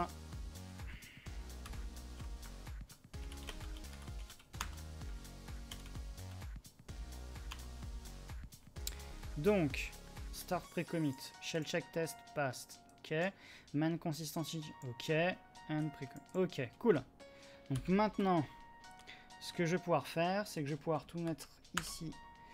Euh, for euh, man pages, for man page, in euh, pop, pop, pop, pom, runlab.1 et runlab rc.5 do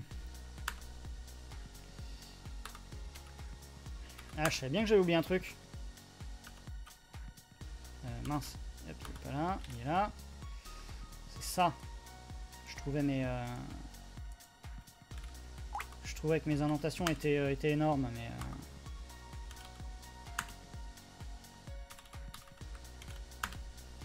euh, Hop. Voilà, là c'est mieux.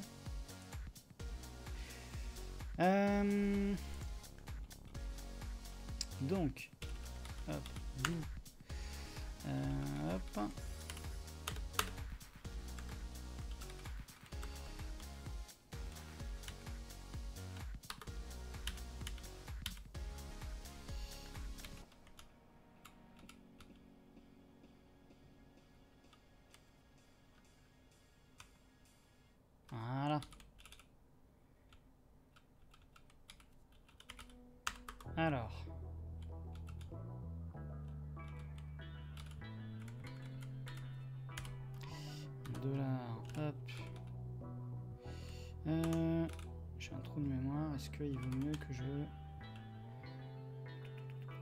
Fois que je vais utiliser les... euh, Ouais, faut que je les mette entre côtes. hein. Hop là. Ce que je vais même faire, c'est... Hop. Ici. Et là, je mets man page. Hop. Alors, ce sera la man page .md en plus. Et dans, hop, ici, wordir. Et ce sera man page. Hop.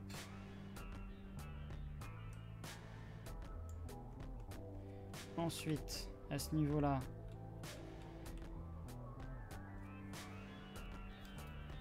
eh bien, man, hop, man page, et ici, workdir, slash man page.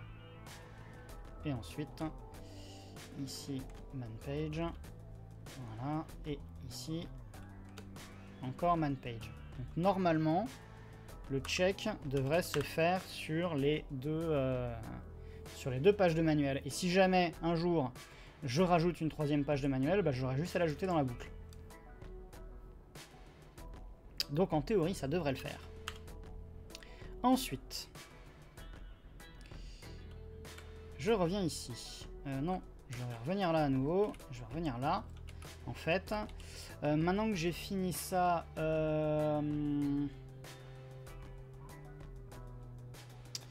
Et ben on va... euh, Hop. Donc, une fois que je reviens ici, si je fais un petit git status, ça c'est modifié. Et... euh,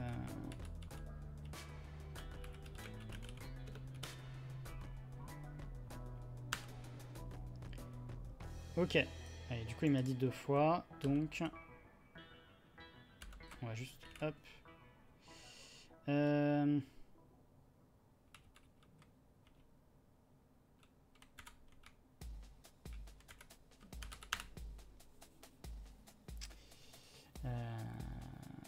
ça c'est bon. Euh, ce que je voudrais faire aussi, c'est maintenant tester le cas de figure où il y a un souci, pour bien voir le diff moins, moins BU.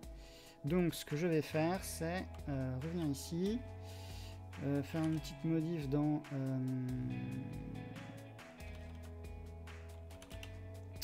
dans eh ben, doc, on va dire euh, runlab.1.md et on va lui dire euh, qu'est-ce qu'on a à la fin?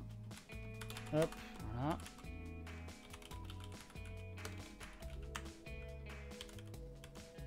Et là on va dire the more the merrier. Et non c'est pas le runlab.sh qu'il faut que je commit. C'est mon hop celui-là. Donc là normalement ça devrait échouer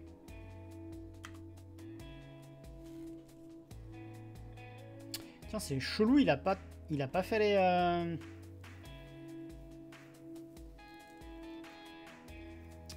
C'est chelou ça.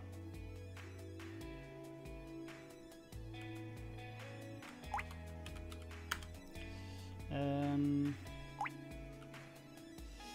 C'est chelou.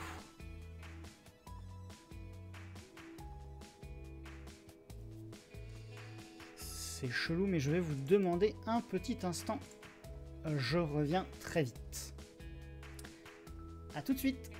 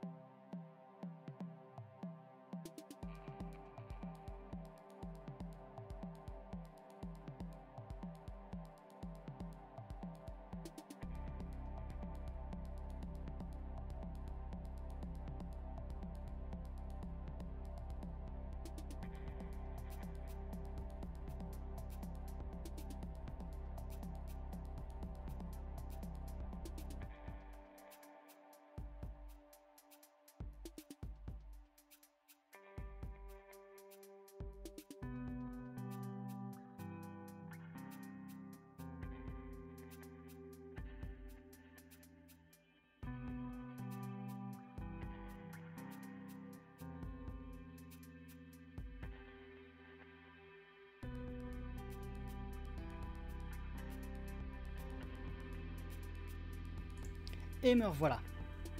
Alors, euh, donc c'est étonnant, puisque euh, cette fois-ci, il dit juste qu'il a, il a fait le start, shell check test passed, mais pas le reste.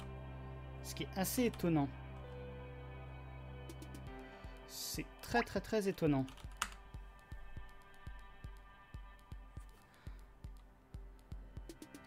Je vais le relancer en... avec les X-Trace. Voilà.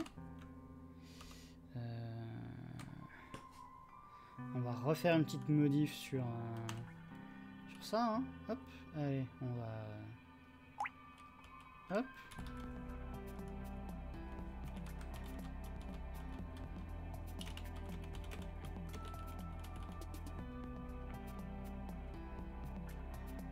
Alors, qu'est-ce qu'il dit?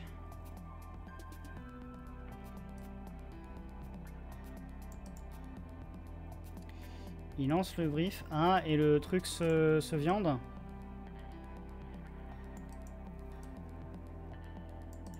Ah, mais en fait, c'est parce que oui. C'est parce que... euh, exit on error inside any function or subshells. Ok. Et append pipe pipe true if you expect an error. Sauf que... Sauf que... Si je fais ici un pipe, un double pipe trou, je vais avoir un problème, hein, je pense. C'est euh, c'est ça. Euh, non, c'est pas ça qu'il faut que je fasse. Euh, c'est sur, sur le diff.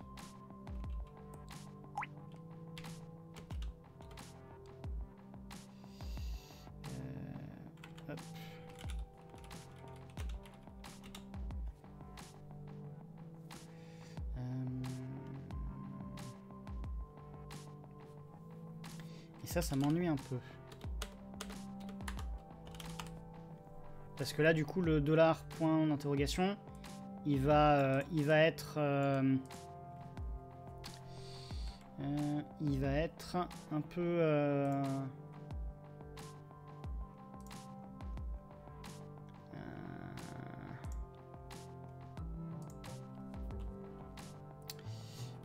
Alors, qu'est-ce que je peux rechercher à ce niveau-là? On va, aller chercher un truc, hein. on va essayer de regarder sur le grand internet convivial. Euh, bash. Euh, check. Euh, return code. get return code.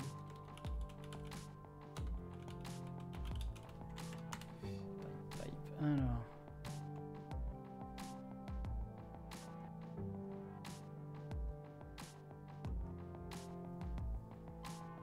Pipe status. Ah, voilà. Je savais bien qu'il y avait un truc qui était le... You can use 7-o pipe fail. Je l'avais pas mis le pipe fail Si Catch the error in case MD1 fails. Merci, merci beaucoup pour le follow, Steph DeWitt. Merci beaucoup à toi, c'est très gentil. Alors. Hmm. Euh.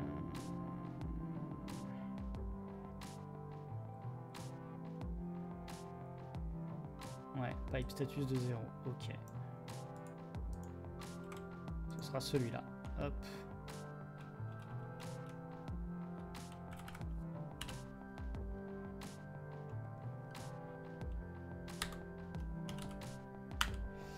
Allez, on va le tenter comme ça. Et... Euh...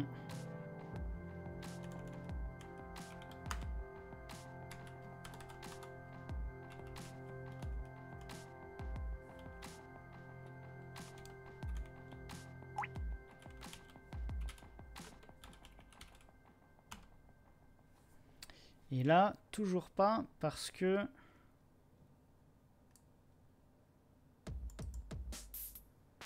Parce que ça a renvoyé 0.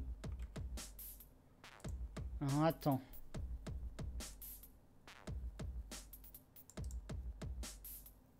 Pourtant, il aurait, dû renvoyer, hein. Donc le test de shell check est passé. USR bindif. Attends, USR, le pandoc, il arrive là. Le, le diff, moment drift.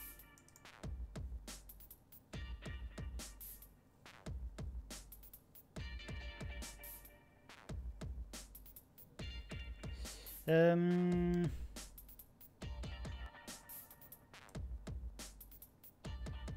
Alors je vais tenter, hop, moins O, slash tmp run, run point. Voilà. Donc ensuite, usr bindif, moins brief, ça et ça. Là, il me dit les fichiers diffèrent. Echo de la... Ok. Si je relance ça et que je fais pipe pipe true. Ok, ok. Euh, deux. Euh, attends, je vais reprendre directement. Peut-être ça qui pose problème en fait. Peut-être ma redirection qui est mal fichue. Hein. Ok. Ensuite, ensuite, euh, écho dollar point d'interrogation. Donc là, il me dit 0, ce qui est logique. Euh, je relance ça. Et je veux écho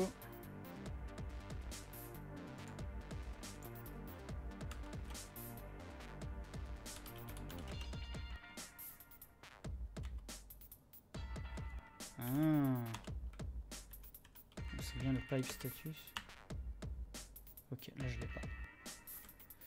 Donc j'ai bien un pipe status qui est à 0. Euh...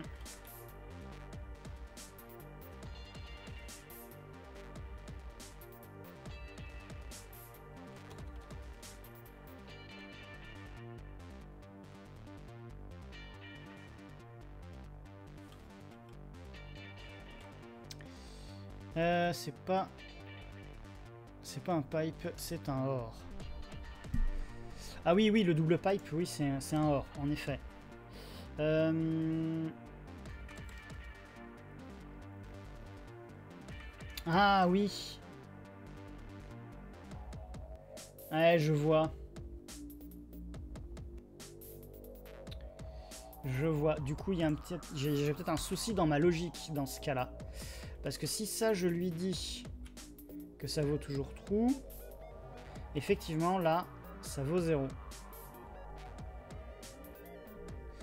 Donc, donc j'ai peut-être un souci dans ma logique. Euh...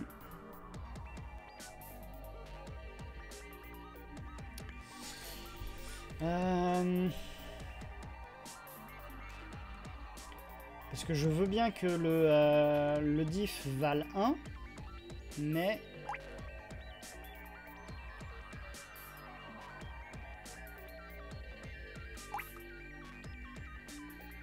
Ou alors, je, euh, je le N7 temporairement.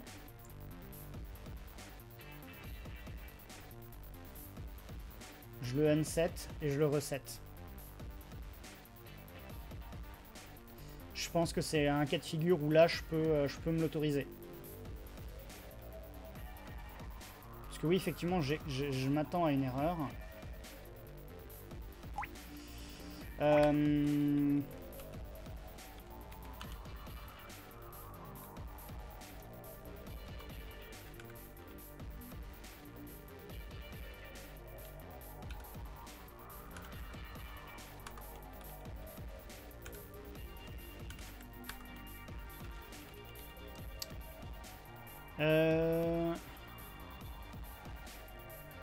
Ah, je le pipe au lieu de le...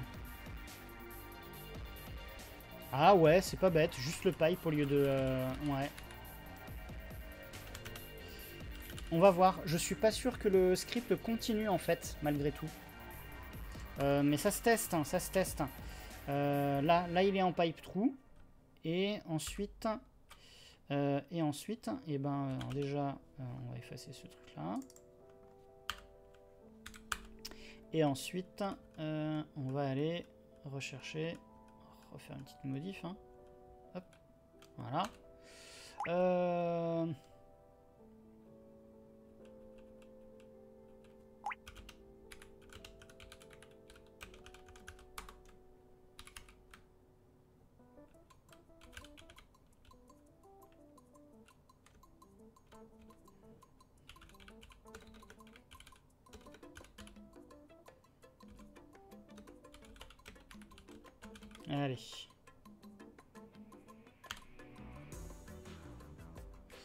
Euh...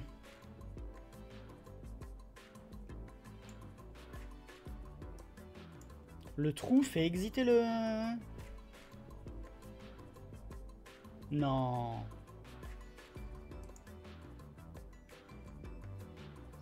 Non. Non, non, non, non. C'est chelou cette affaire. Ouais, bah je vais... Euh, hop. Allez, on va faire un 7 moins O, euh, bah un M7.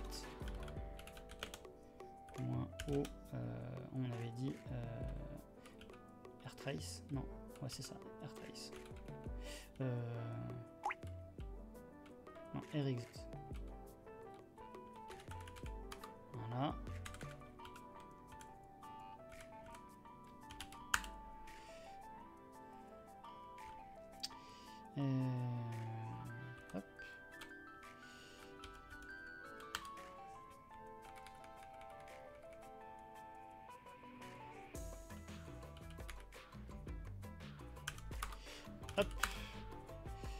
Oui, effectivement, moi aussi je trouve ça bizarre, mais, mais on va bien voir.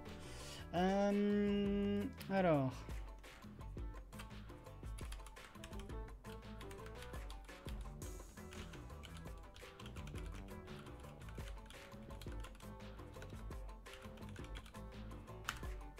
Ok. Euh, je me suis trompé avec le N7.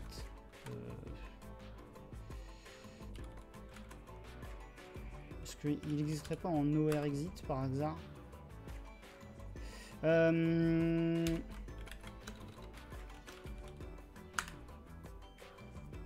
Ah, fiche. Euh...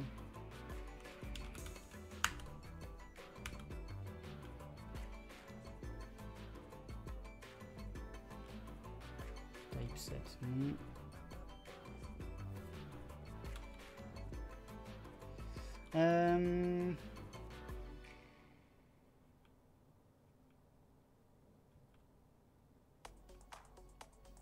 oui, je suis en train d'aller dans la page de manuel de Bash et à chaque fois que je vais dans la page de manuel de Bash, euh, je pense que je vais finir sur Google. Allez. Euh, hop, et c'est 7.0 exit. Comment on le fait Hop. Et hop. M'embête, mais bon, hein, à un moment.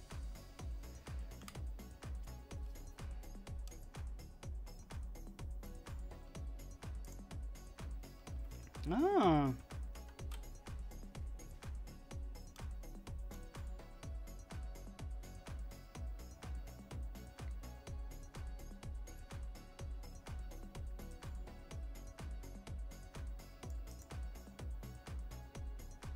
Ouais, non.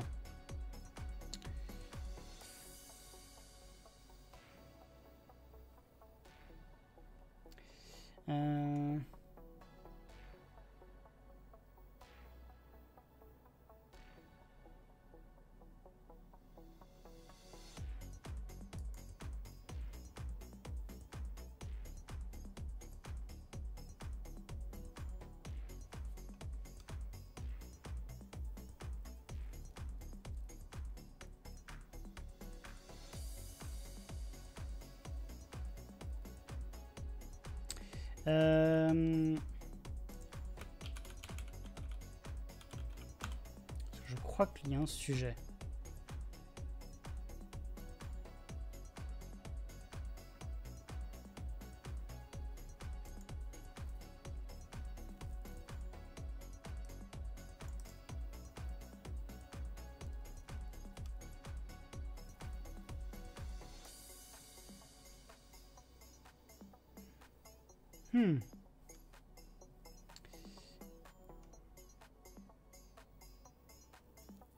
Mais là, ils mettent directement 7-E, ce qui est un peu, un peu dommage.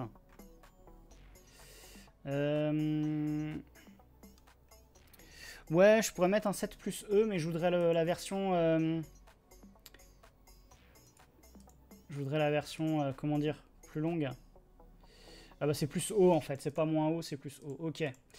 Voilà, c'est ça que je cherchais en fait. Hop. Voilà. Tout ça pour ça.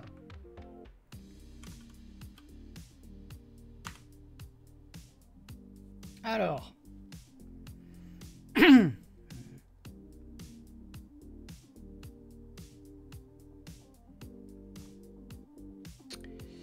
euh, Pandoc fait son job diff arrive. 7 moins O, 7 plus O. Est-ce que je l'aurais mis au mauvais endroit euh, Ah ben, c'est que je l'ai pas, j'ai pas changé le truc. J'ai pas fait tout le boulot. Voilà. Et ça, à la limite, on peut le mettre un petit peu plus bas. On peut le mettre... Euh, Ouais, d'ailleurs, on va le mettre ici. Parce que sinon, le diff, euh, diff-bu, je crains que son code de retour nous embête.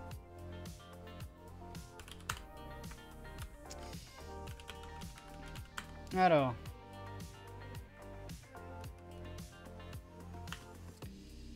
Em.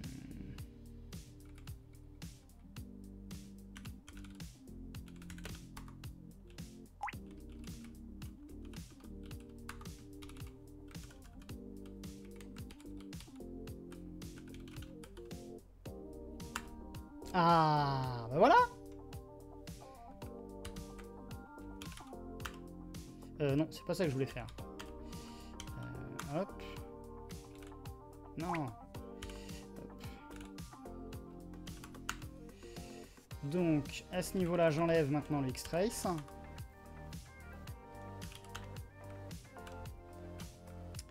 Si je refais mon guide commit, là, il me dit toujours, au fait, il y a un souci. Donc ça, c'est cool. Ce qu'on va peut-être même faire, c'est rajouter un petit message ici, en dessous.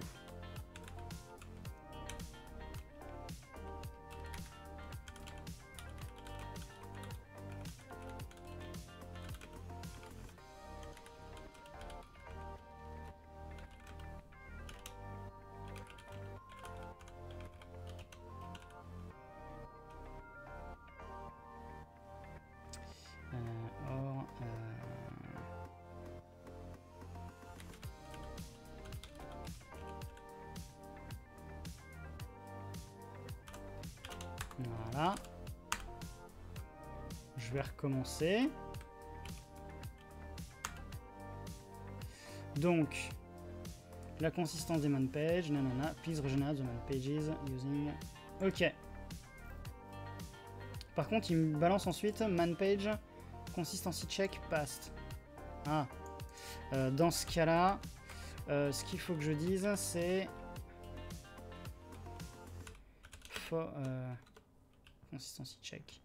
Ici, for, for dollar man page. Hop. Et ici, for. Voilà. Euh,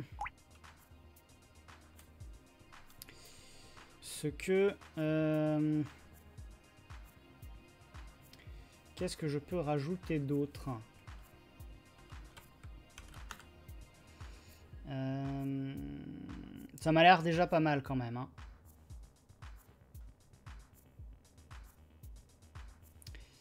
Donc on a fini les pré-commit check for run lab. Ok. Ok, ça, ça m'a l'air pas mal. Maintenant, le truc à la con. On va faire un shell check moins x de euh, point, euh, point git euh, pré-hook hooks pré-commit. Et là, il s'avère que il y a encore des soucis. Euh, j'ai oublié les doubles quotes. Et pour rediriger... Ah, bah voilà, d'accord. Ok, ok. Je savais bien que je l'avais mal fait. Euh. Alors. Déjà... Ça, comme ça. Ensuite, il manque quelques doubles côtes. Hop. Ici. Et euh, à mon avis, il va manquer encore là.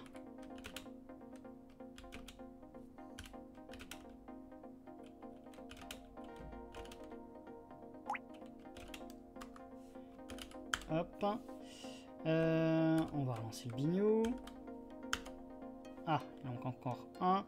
Et ici, check is if my SMD not indirectly. Ah, d'accord. Pour lui, il faut le faire directement. Euh, pour lui, il faut le faire directement, mais... Ah, il y a peut-être moyen, ouais. Allez.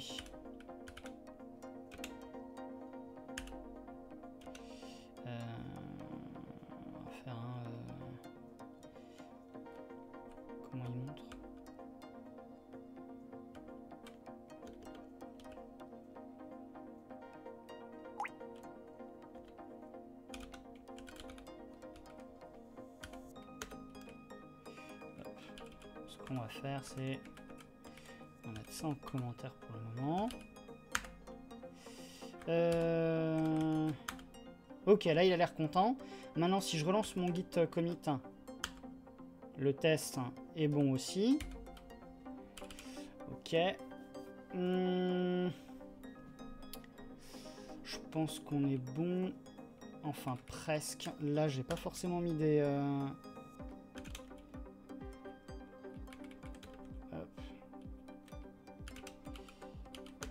Sais que il a pas râlé, mais, euh, mais pour des questions de euh, d'être cohérent dans tout mon dans tout mon code, là c'est pareil.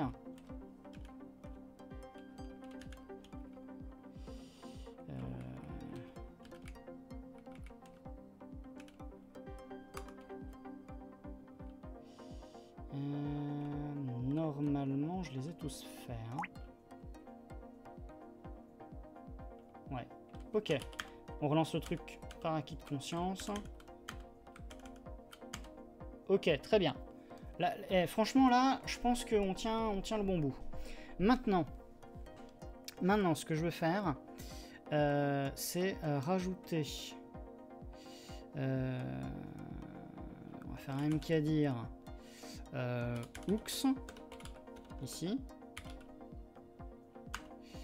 On va faire un mv de euh, .git slash hooks pré-commit euh, dans, euh, bah dans hooks. Et ensuite on fait un len-sv de de hooks pré-commit dans .git hooks. Ok. Donc là, forcément, il me dit que j'ai un track. Ok. Est-ce que je renvoie pas un code d'erreur pour interrompre le commit? En fait, il n'y a pas besoin. Enfin, j'ai pas besoin. Euh, pour une raison très simple. C'est que comme j'ai mis un, euh, un 7 moins, moins, moins haut rexit à la base, et que j'ai rajouté aussi d'ailleurs le, euh, le rtrace, à partir du moment où il y a une erreur, euh, le, script s'arrête. Et le script s'arrête avec, le, euh, avec le code de la commande. Donc si la commande, elle, a fait une erreur, son code est, différent de 0, donc, euh, donc le commit ne se fait pas. D'ailleurs, c'est pour ça que ici, je mets... J'aurais très bien... En fait, la raison pour laquelle ici, on s'est pris la tête...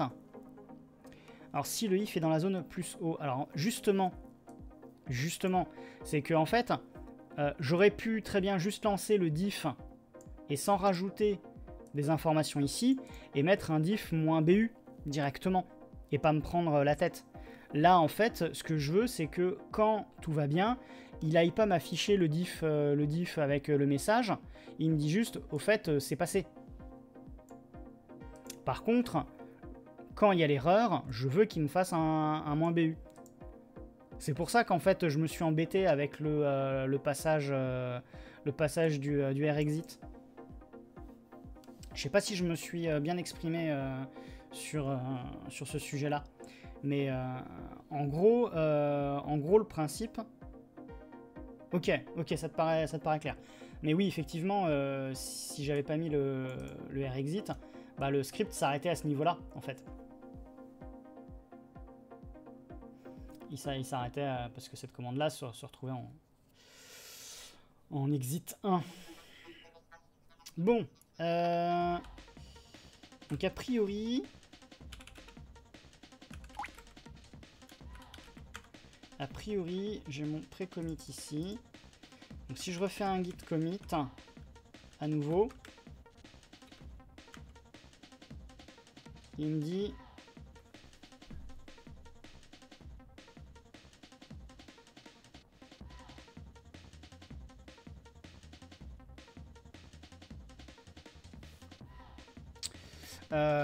il me dit... Il me dit qu'il est pas content parce qu'il y a un track file. Oui, mais je...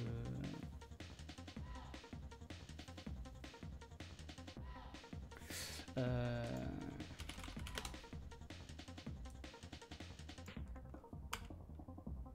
Ah oui, mais d'accord, je me suis trompé dans le... Ok. rm euh, git euh, hook pré-commit.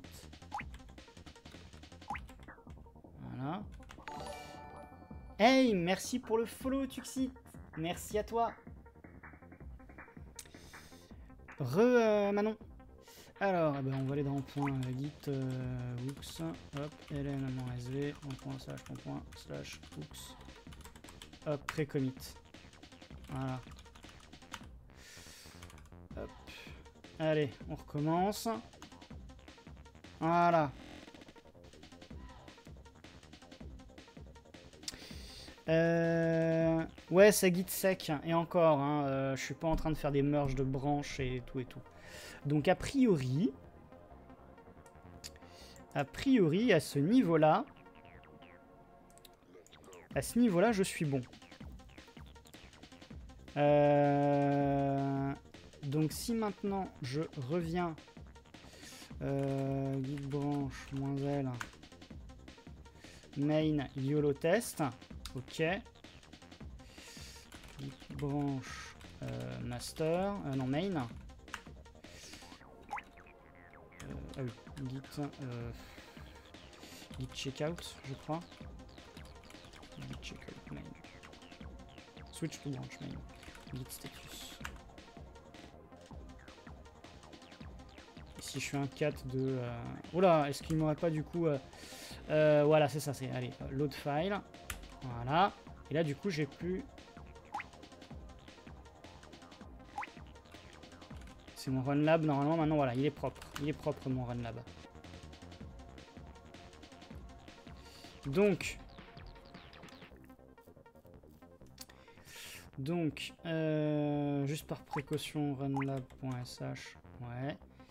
Et euh, et je vais regarder mon, euh, mon répertoire. Oups, ok.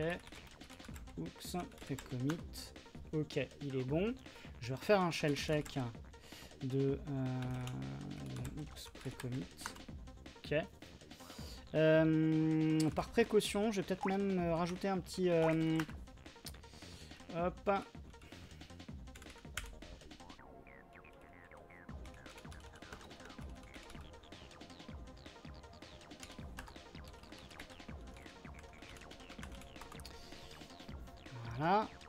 Euh, et puis, euh, on va faire euh, configure, configure hook. Hop, et on fait cd.git slash ben, hooks et ln sv slash slash hooks précommit.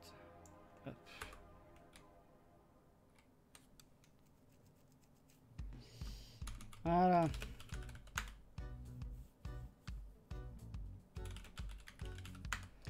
Donc là, du coup, je suis dans la, dans la branche main. Et on va faire un petit euh, git add. Hop. Git add makefile. Euh, et euh, on va rajouter, du coup, on va copier tout ça. Et on va dire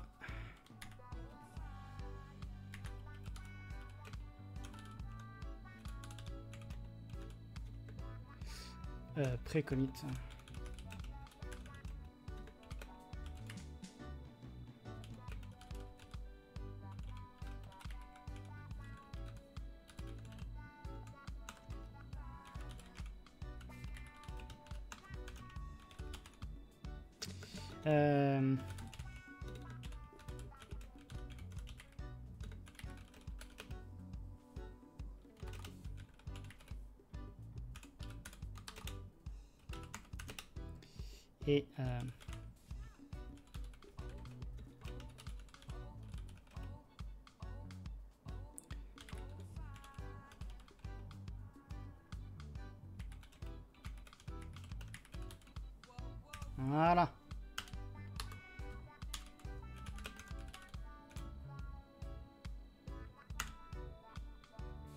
Ok, donc là, on est bon.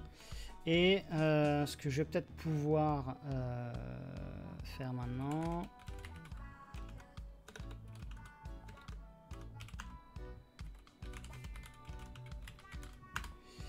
Euh, alors, guide branche, comment on efface une branche? Delete. Git-d. Voilà. Git branche, -d, on l'avait appelé.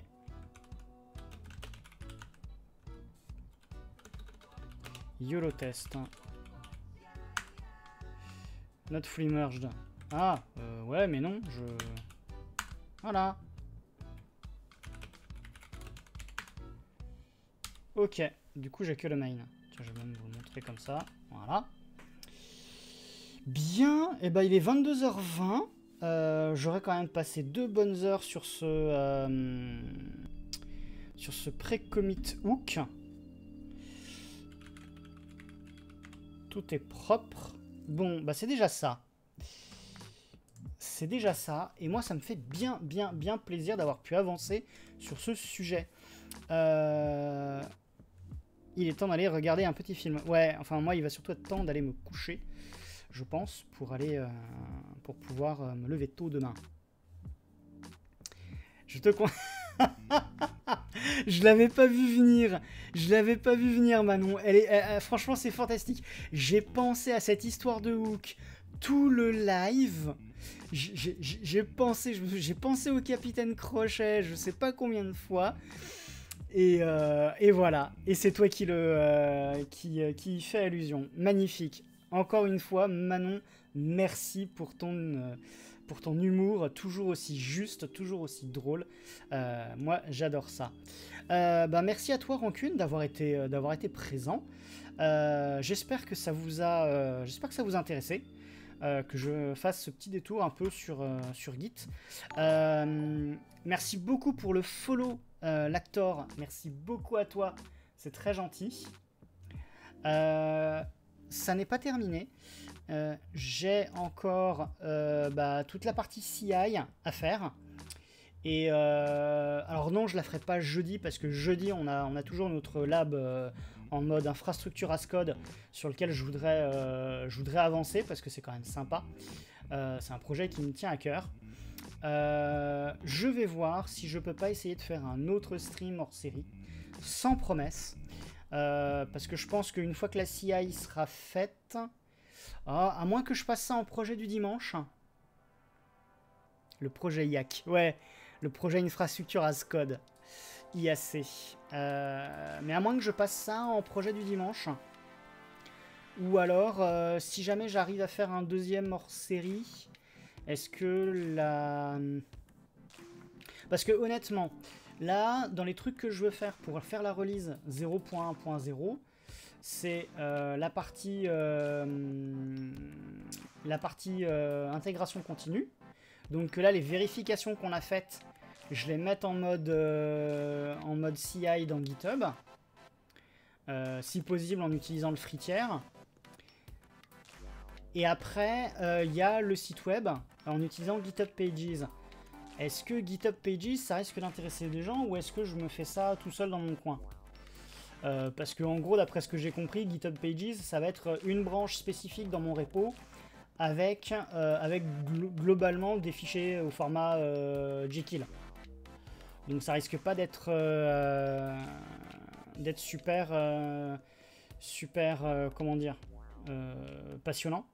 Euh, bah justement, Manon, je me pose la question de ce qu'il va y avoir le dimanche. J'ai une petite idée. J'ai une petite idée de ce que, euh, de ce que je pourrais faire le dimanche.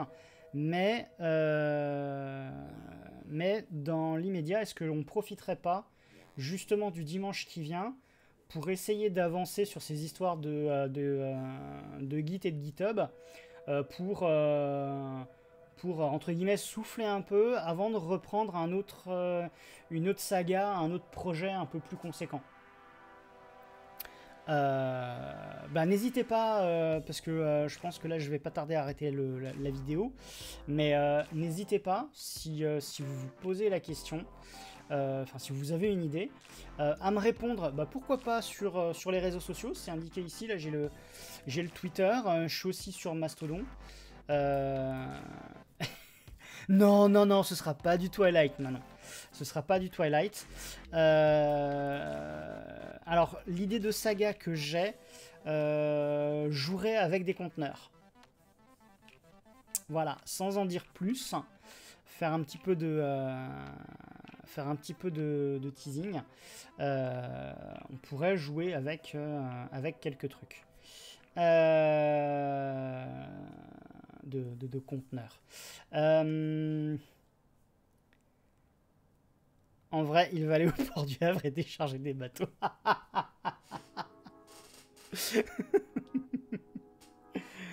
voilà, voilà. Bref.